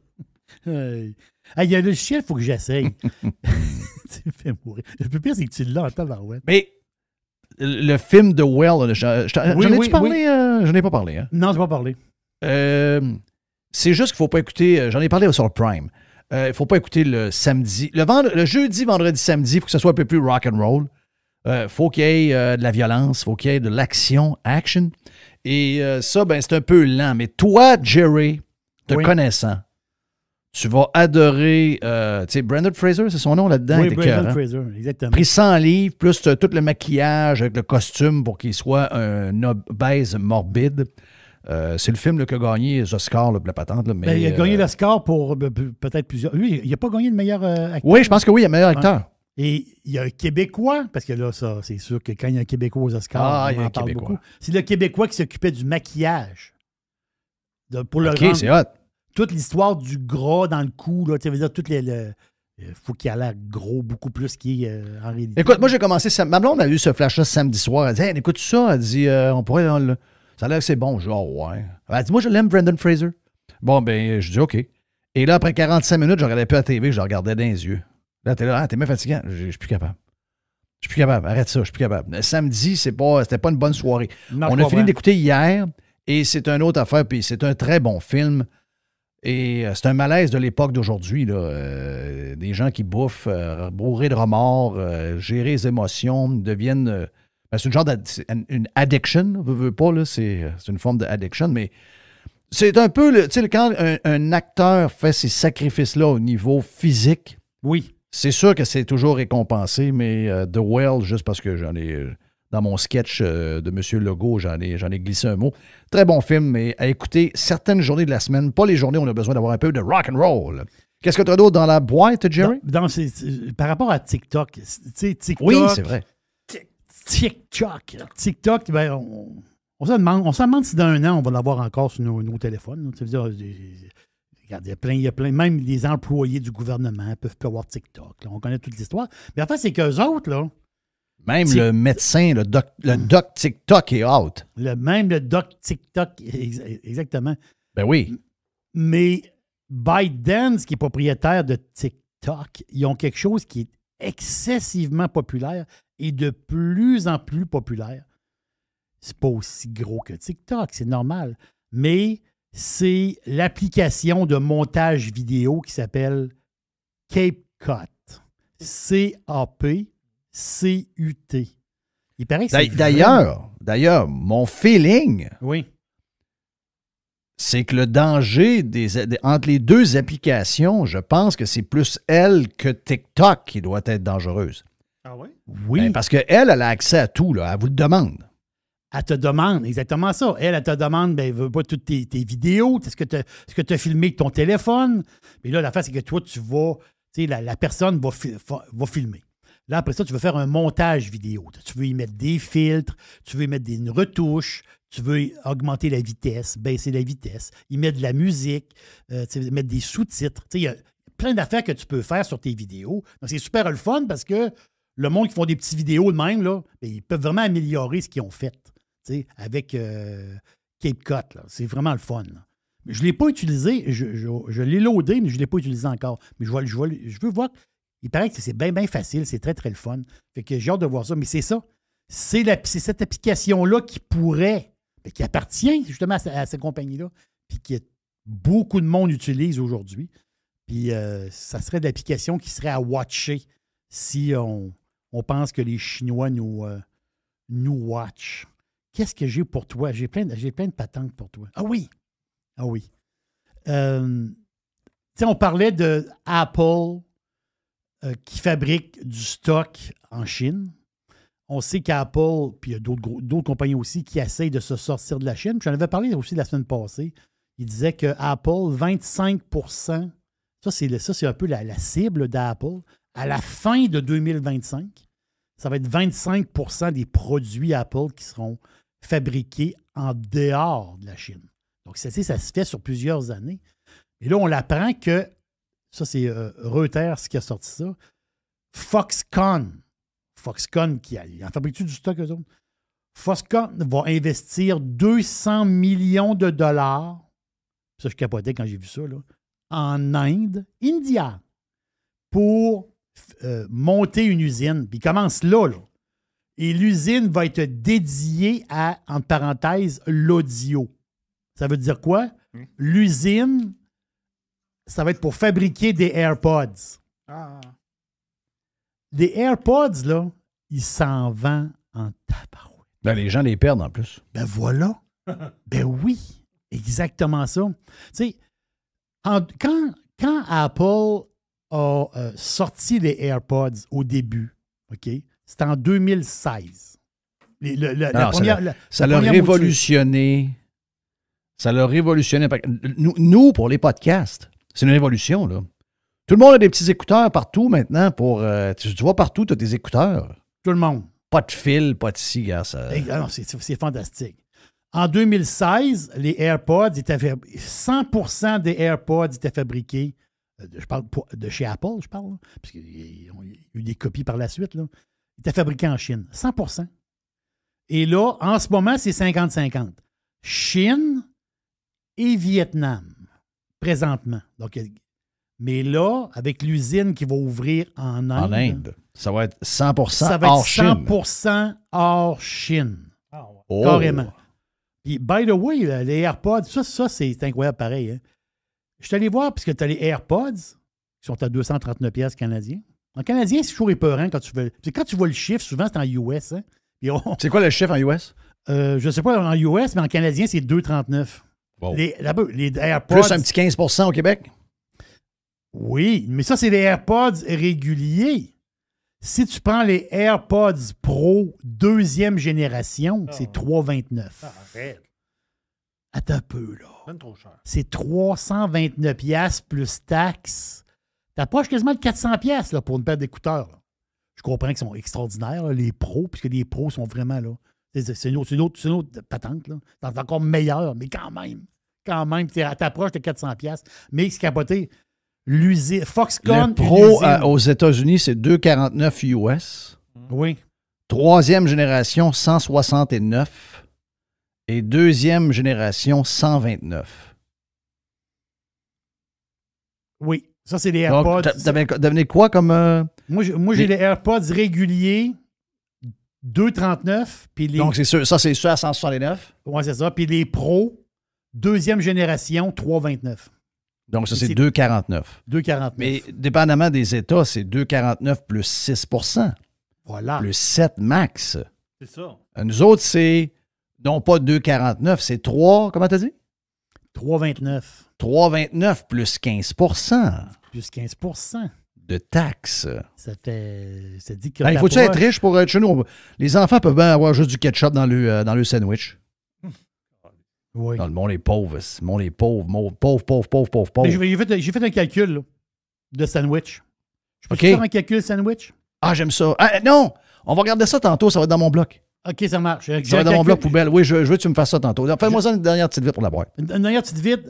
Regarde, c'est une compagnie qui a 117 ans d'âge. Quand même, 117 ans, c'est pas rien. La compagnie Kellogg's, les céréales.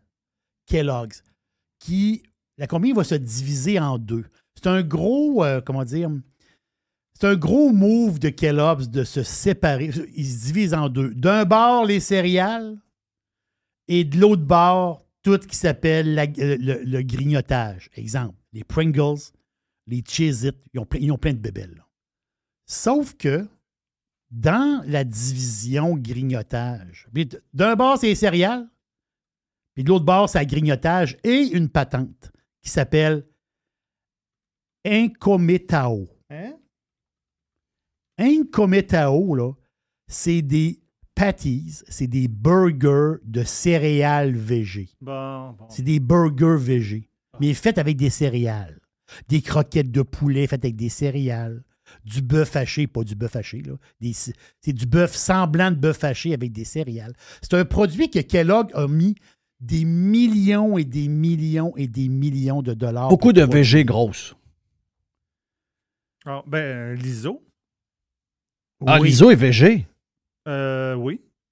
Du, euh, du gâteau au chocolat, c'est green. C'est euh, c'est VG. C'est végé. Si tu prends le, si, si le gras est vé- végétal. Ben, ça dépend. pas de problème. Ouais, il faut que Un le gâteau gras, au chocolat, euh, 10 étages, c'est. euh, oh c'est oui, végé. euh, Ben oui, c'est végé parce que c'est c'est pas de graisse animale, c'est végé.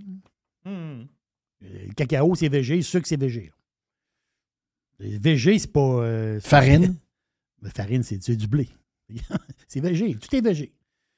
De l'eau. Mais l'histoire de Kellogg, l'histoire, je vous dis ça pour ça. C'est que Kellogg, là, OK, là, il se divise en deux. Puis ça, c'est des analystes qui disent ça. là. Je vous en parle parce que c'est pour montrer des fois les compagnies où ce qu'ils peuvent aller. C'était la mode de toutes les, patentes euh, euh, euh, végétales, burgers végétales, les Beyond Beyond, Meat. Meat. de ce monde. C'était, on était sur un trend épouvantable. Puis si les compagnies, ils se disaient, ben faut que je sois, faut être là-dedans. Kellogg a embarqué là-dedans. Le problème, ils se sont fait prendre le pied dans le piège à ours. là. Mais ça. Là, ce qu'ils vont, f- là, ce qu'ils font, c'est que, imaginez-vous, là, ils séparent la compagnie en deux. Une, une compagnie qui a 117 ans d'histoire pour pas avoir d'injambe la patente VG. Parce que la patente VG, ils veulent pas, autrement dit, couler les céréales, les boîtes de céréales, les barres granola. Les, les- les- on s'est entendu, ils veulent, ils veulent pas couler cette business-là avec les burgers VG. Les burgers VG, là, c'est un, c'est un désastre de vente. Oui. Ça marche pas. Ils sont obligés de n'avoir, mais il semble que ça va être euh, épouvantable, puis euh, ils ont mieux mettre ça à part. Hey, on revient dans un instant sur Radio Pirate Live. Jeff, Jeff Fillion. Worldwide. Radiopirate.com. Next. Tiens, C'est pas nécessairement une poubelle parce que Jerry va participer à la discussion. D'ailleurs, j'ai euh, très. euh, je suis très euh, ben, un, attentif et euh, j'ai hâte de- de- de- de- d'entendre ce que tu as à proposer parce que on a parlé tantôt avec Yann Sénéchal du fait que Oui. les jeunes mangeaient. ben, Il y a des jeunes à l'école qui ne mangeaient pas à leur faim. Et là, ben, tout de suite, la solution, sont, sont, épouvantables. La solution, mettez des milliards là-dedans, on va, on va fournir de la bouffe à tout le monde, puis c'est gratuit, puis on est en retard, puis les autres font ça ailleurs, comme si les milliards nous sortaient par les oreilles. Alors que c'est probablement quelques jeunes seulement, la majorité des gens. Les parents sont assez conscients qu'il faut que les jeunes mangent. Je veux dire, c'est, ça doit être quand même une minorité, ça ne doit pas être une majorité. Puis on comprend qu'il y a des écoles où il peut en avoir plus qu'ailleurs parce que le quartier dans lequel ils sont, c'est des quartiers d'immigrants, donc de gens qui, euh, arrivent, qui ont des conditions difficiles, etc., donc qui ont des emplois un peu ordinaires. Euh, on, comprend toute la patente, mais euh, c'est dur d'imaginer que dans le monde d'aujourd'hui, malgré le coût de la bouffe, que quelqu'un arrive avec du pain moisi Non, ça n'a pas de sens, ça. et euh, du ketchup en deux tranches. Non, tu m'as, fessé quand tu as dit ça. Euh, tu m'as fessé.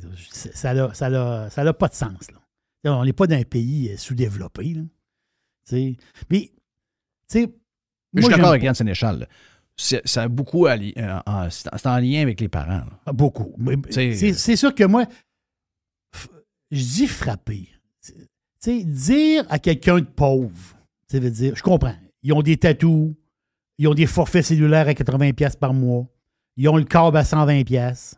Tu sais, le câble, là, tu peux fermer ton câble, mettre des oreilles de lapin puis avoir Netflix à 7 piastres. Moi-même, je paye mon Netflix 6,80 avec les taxes. là.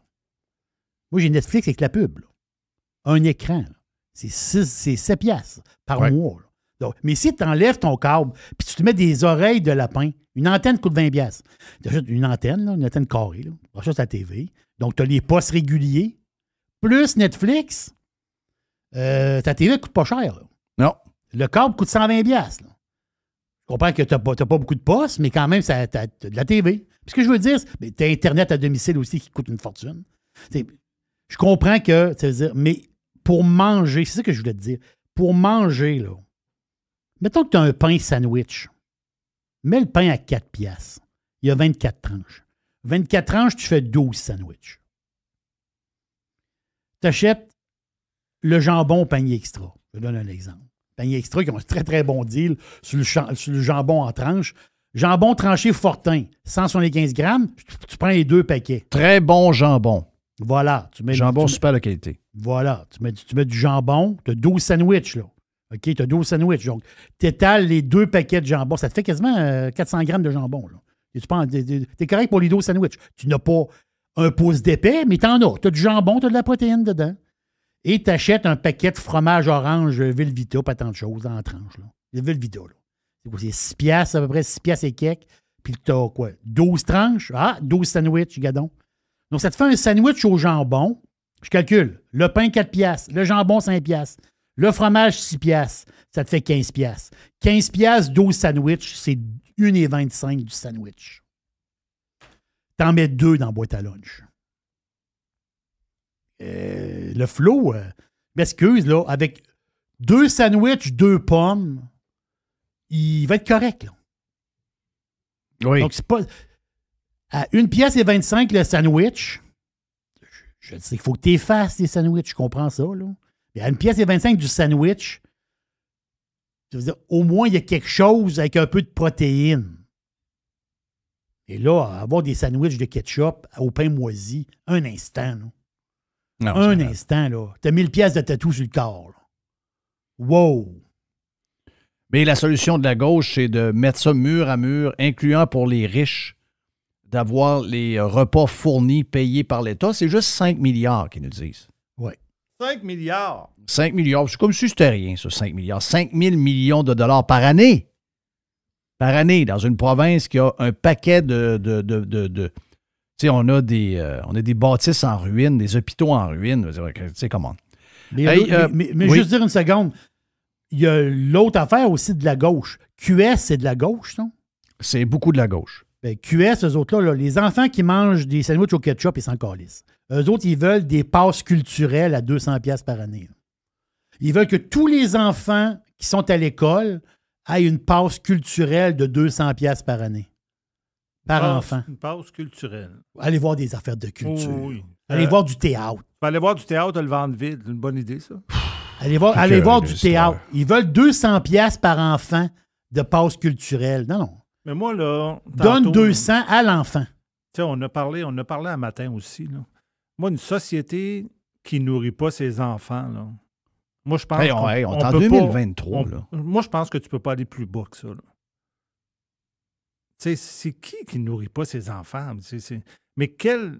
Rappelle dans quel genre de famille tu as été élevé pour les gens qui ne savent pas.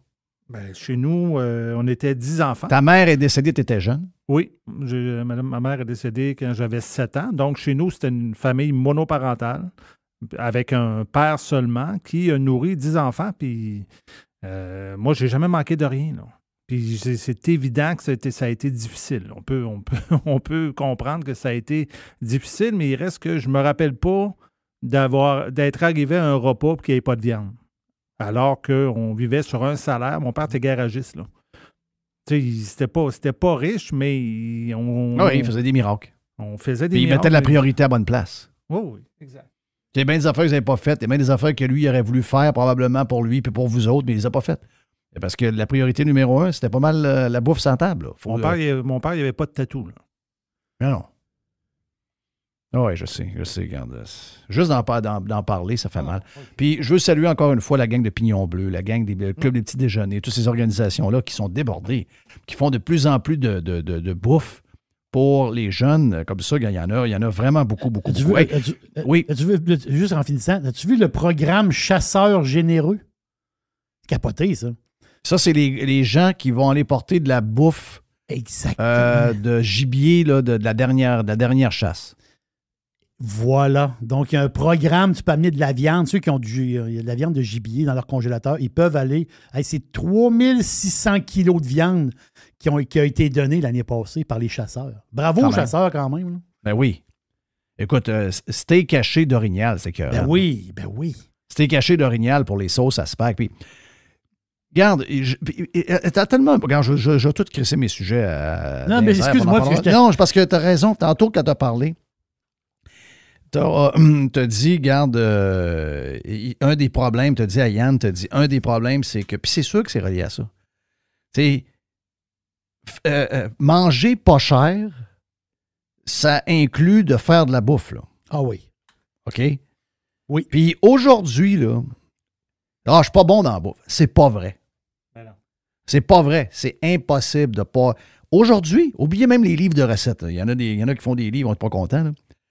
Mais regardez juste sur TikTok ou encore vous êtes sur Facebook, vous avez les, les Reels là, en haut. Là. Oh, Donc, oui. euh, cliquez là-dessus. Là. Des recettes simples. Tu tu l'as dit tantôt. Là. Euh, avant, on compliquait les affaires un peu. Aujourd'hui, sur TikTok, la beauté, c'est que les recettes qui sont expliquées en une minute, une minute et vingt, sur lesquelles vous pouvez cliquer pour avoir toutes les patentes vite pour les faire, c'est toutes des recettes de 10-15 minutes. Tu excuse-moi, là. Tu as parlé de, sandwich. Eh, sur TikTok, là, moi, j'en fais un. Mes, filles adorent mon macaroni à viande. Mais là, quand je regarde, moi, j'aime ça regarder. J'ai une petite dépendance envers TikTok pour la bouffe et les patentes de Renault. Euh, regarde. euh, puis on dirait que quand on les regarde, ben là, l'algorithme sait que l'algorithme sait que tu aimes ça. Donc, il t'en propose encore plus. Donc, finalement, quand tu tombes là-dedans, tu es quasiment plus capa- capable d'arrêter. Puis, euh, tu sais, mettons, un, macaroni à viande. Oui. Le vidéo TikTok peut pas être plus, plus facile que ça. là. Faites mettre un peu, un peu d'huile. Vous mettez euh, du, de l'oignon coupé. Vous mettez de l'ail coupé. Euh, vous. euh, après ça, ben, tu y vas avec une boîte de tomates en dés, une boîte de sauce tomate. Oh, t- c'est vrai, tu as mis ta viande en premier. mis ta viande, c'est ça. Tu sais, tu mets une viande. là, tu- on, a des, on, on a de la viande qui est souvent spéciale. Que ce soit du porc. Bon, le porc, pour, hacher, ça fait, là. Tu sais, il y a toujours quelque chose quelque a- part. Tu sais, chez, chez Panier Extra, il y en a toujours. Même s'il est congelé, vous le décongelez, merci, bonsoir. Il y a toujours une protéine en spécial. Toujours Il y a protéine. toujours une protéine en spécial quelque part. Vous mettez ça dans votre, dans votre, dans votre pot, pas dans votre pot, mais dans votre, votre plat, puis vous laissez cuire ça tranquillement. Vous avez peut-être une livre de viande, une boîte de, une boîte de, de- de- de tomates en dés, une boîte de sauce tomate.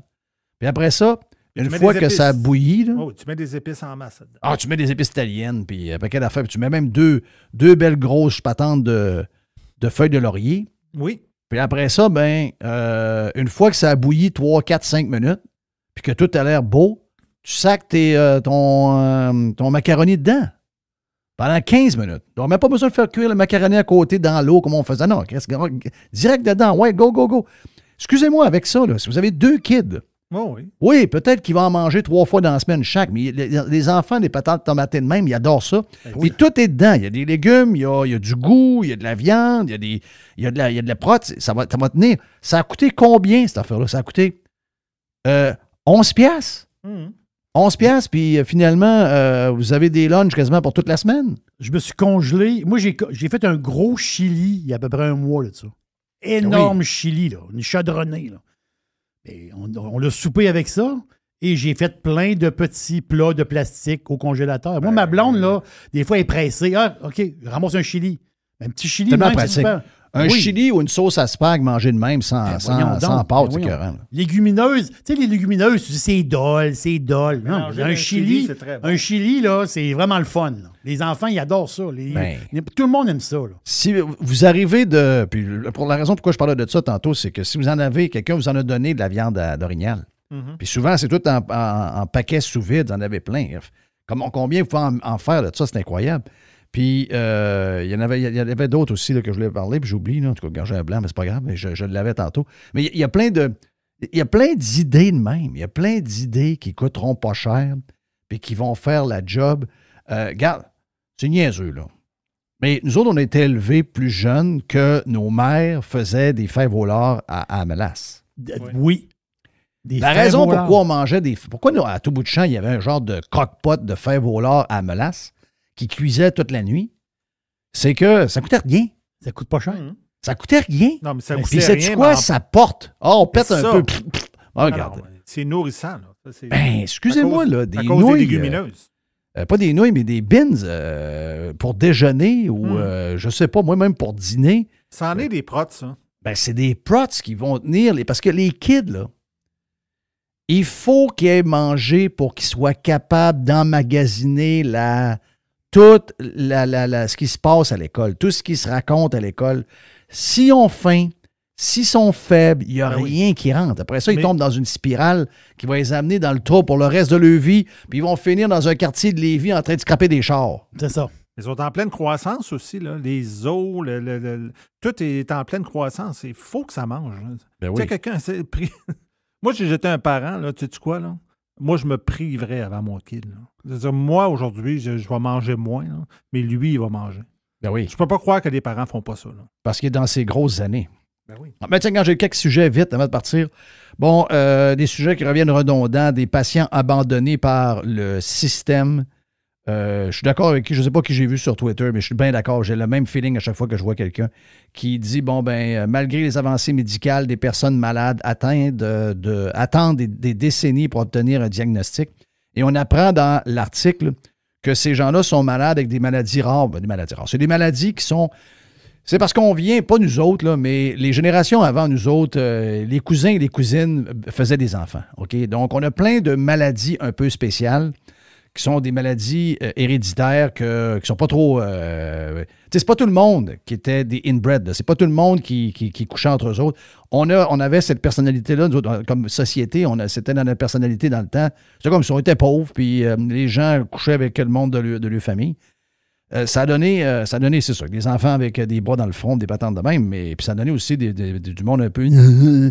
mais ça amène aussi des, diagnostics plus difficiles à avoir parce que ce sont des maladies qui sont très rares. Et euh, les places spécialisées pour trouver ces affaires-là, c'est où vous pensez? C'est aux États-Unis. Donc, au Québec, on n'a pas le moyen de faire ce genre de patente-là. Puis, on n'a pas non plus les traitements pour ces, ces choses-là. Donc, finalement, on n'est pas à bonne place. Donc, c'est nous autres qui créé ça un peu, mais on n'est pas à bonne place pour les avoir parce que les traitements sont un peu vieillots. La manière de faire le diagnostic, on n'est même pas capable. Et là, souvent, les gens sont malades pendant des années et des années. Ils prennent des mauvais médicaments, ils ont des situations. Mais la seule question que j'ai pour les gens qui se plaignent, c'est bizarre ce que je vais vous dire, là. Mais moi, je pense que dans tout article, là, Hmm. je veux savoir pour qui vous votez. Oui.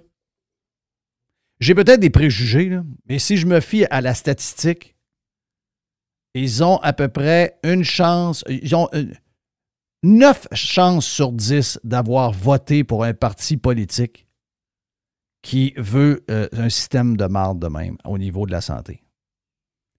Il y a, c'est quoi, c'est, c'est 13% qu'il y avait un, un parti politique au Québec? 14 qu'ils ont eu?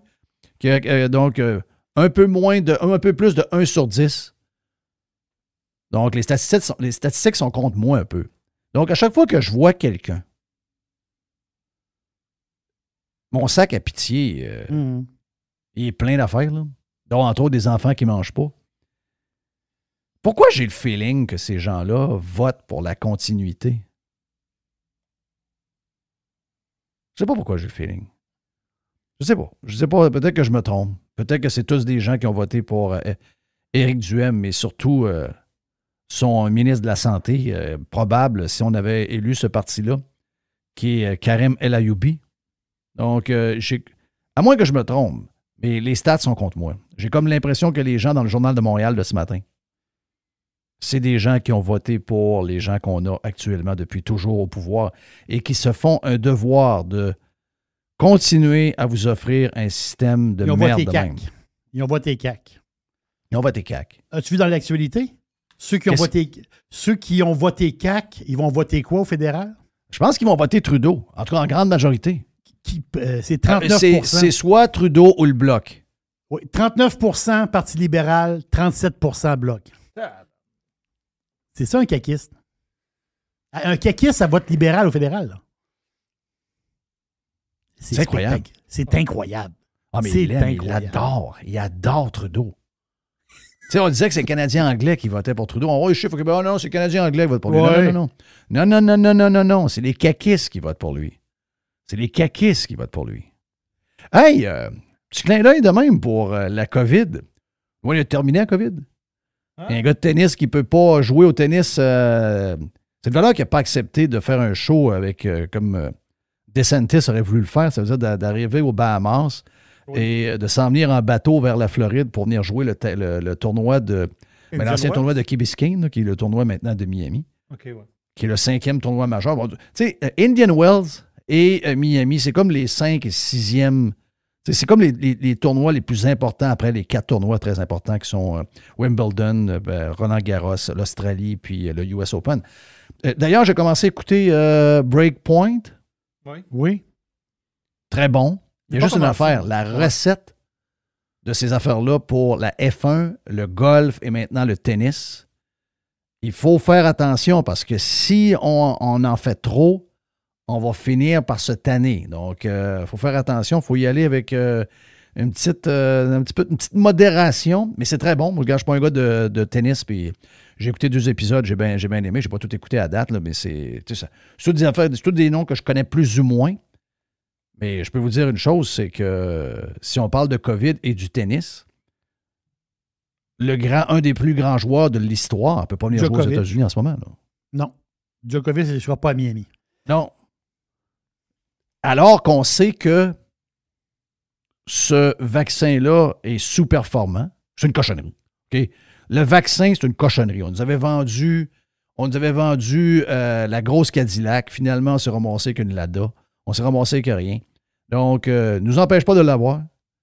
Euh, nous empêche pas de le donner. Euh, finalement, tout le monde l'a pogné anyway.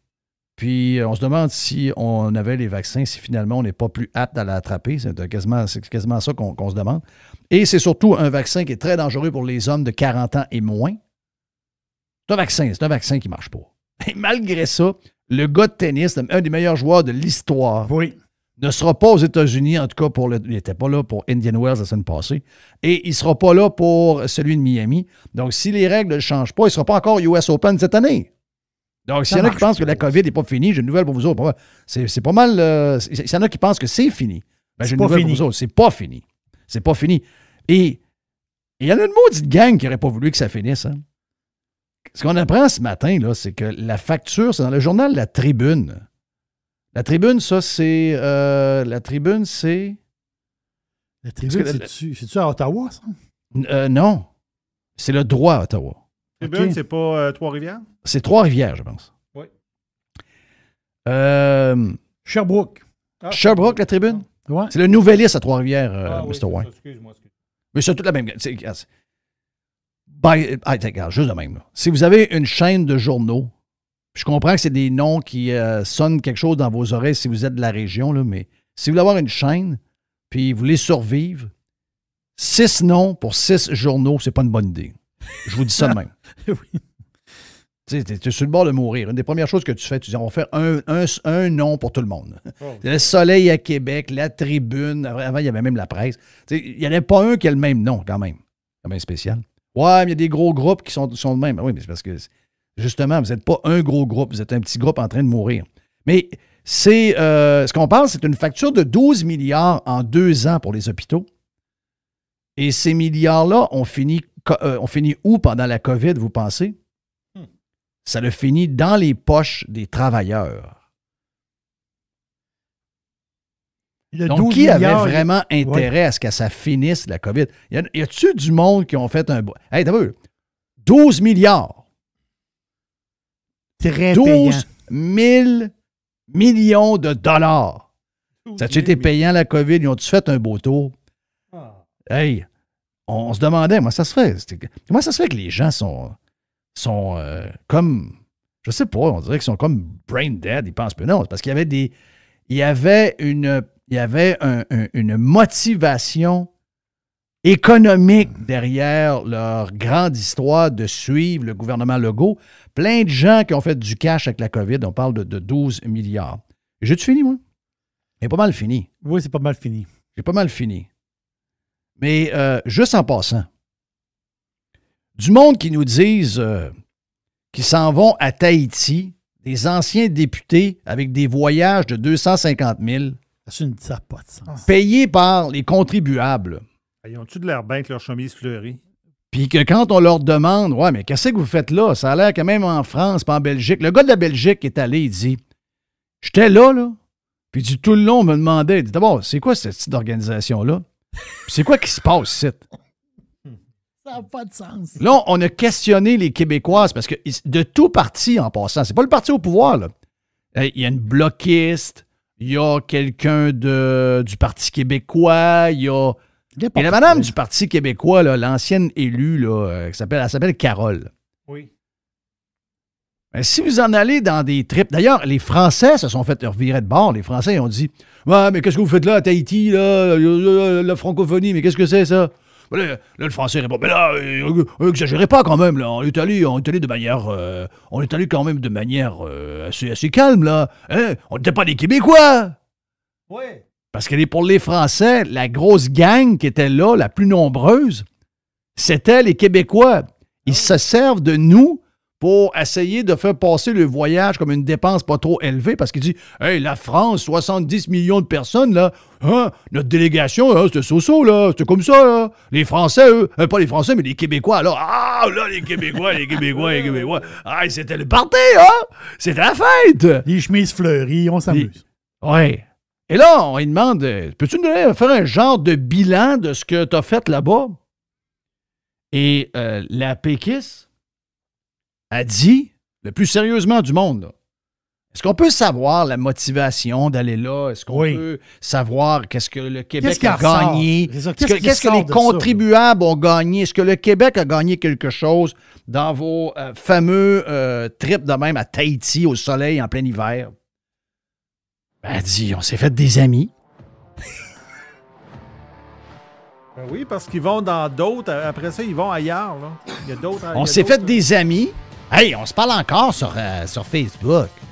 Ouais, On s'est fait des amis. On s'est fait plein, plein, plein d'amis. plein là. d'amis. Ah oui, puis c'est pas. On a fait ça pour le français. On a sauvé le français. Puis on a parlé des changements climatiques. Puis on a parlé aussi d'Haïti. Ça, ça va pas bien, Haïti, hein?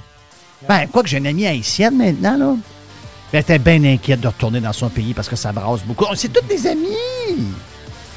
Carole la péquisse. Carole la péquisse qui répond ça. Ils ont dépensé à la gang 250 000 piastres Hey. pour aller faire un voyage. C'est dégueulasse. Dégueulasse. Thank you, mon, mon chum Jerry. Beaucoup de langoustes à Tahiti. C'est sûr. Oui. Des bonnes langoustes. Tahiti. See you, my friend. Yes. See you, pirate. On se reparle demain mardi. Thank you à Mr. White, the producer. Mon nom est Jeff Fillion. On se reparle de. Hey, en passant, si vous voulez avoir plus de ce qu'on a fait aujourd'hui, demain, toute la semaine, allez vous inscrire sur Radio Pirate Prime pour le podcast Radio Pirate Prime. Donc, radiopirate.com. Je, je dis radiopirate.prime quasiment. Donc, radiopirate.com pour s'inscrire pour Radio Pirate Prime. Voilà. On est lundi. On a le droit de tout mélanger. On est lundi. On est lundi. See ya!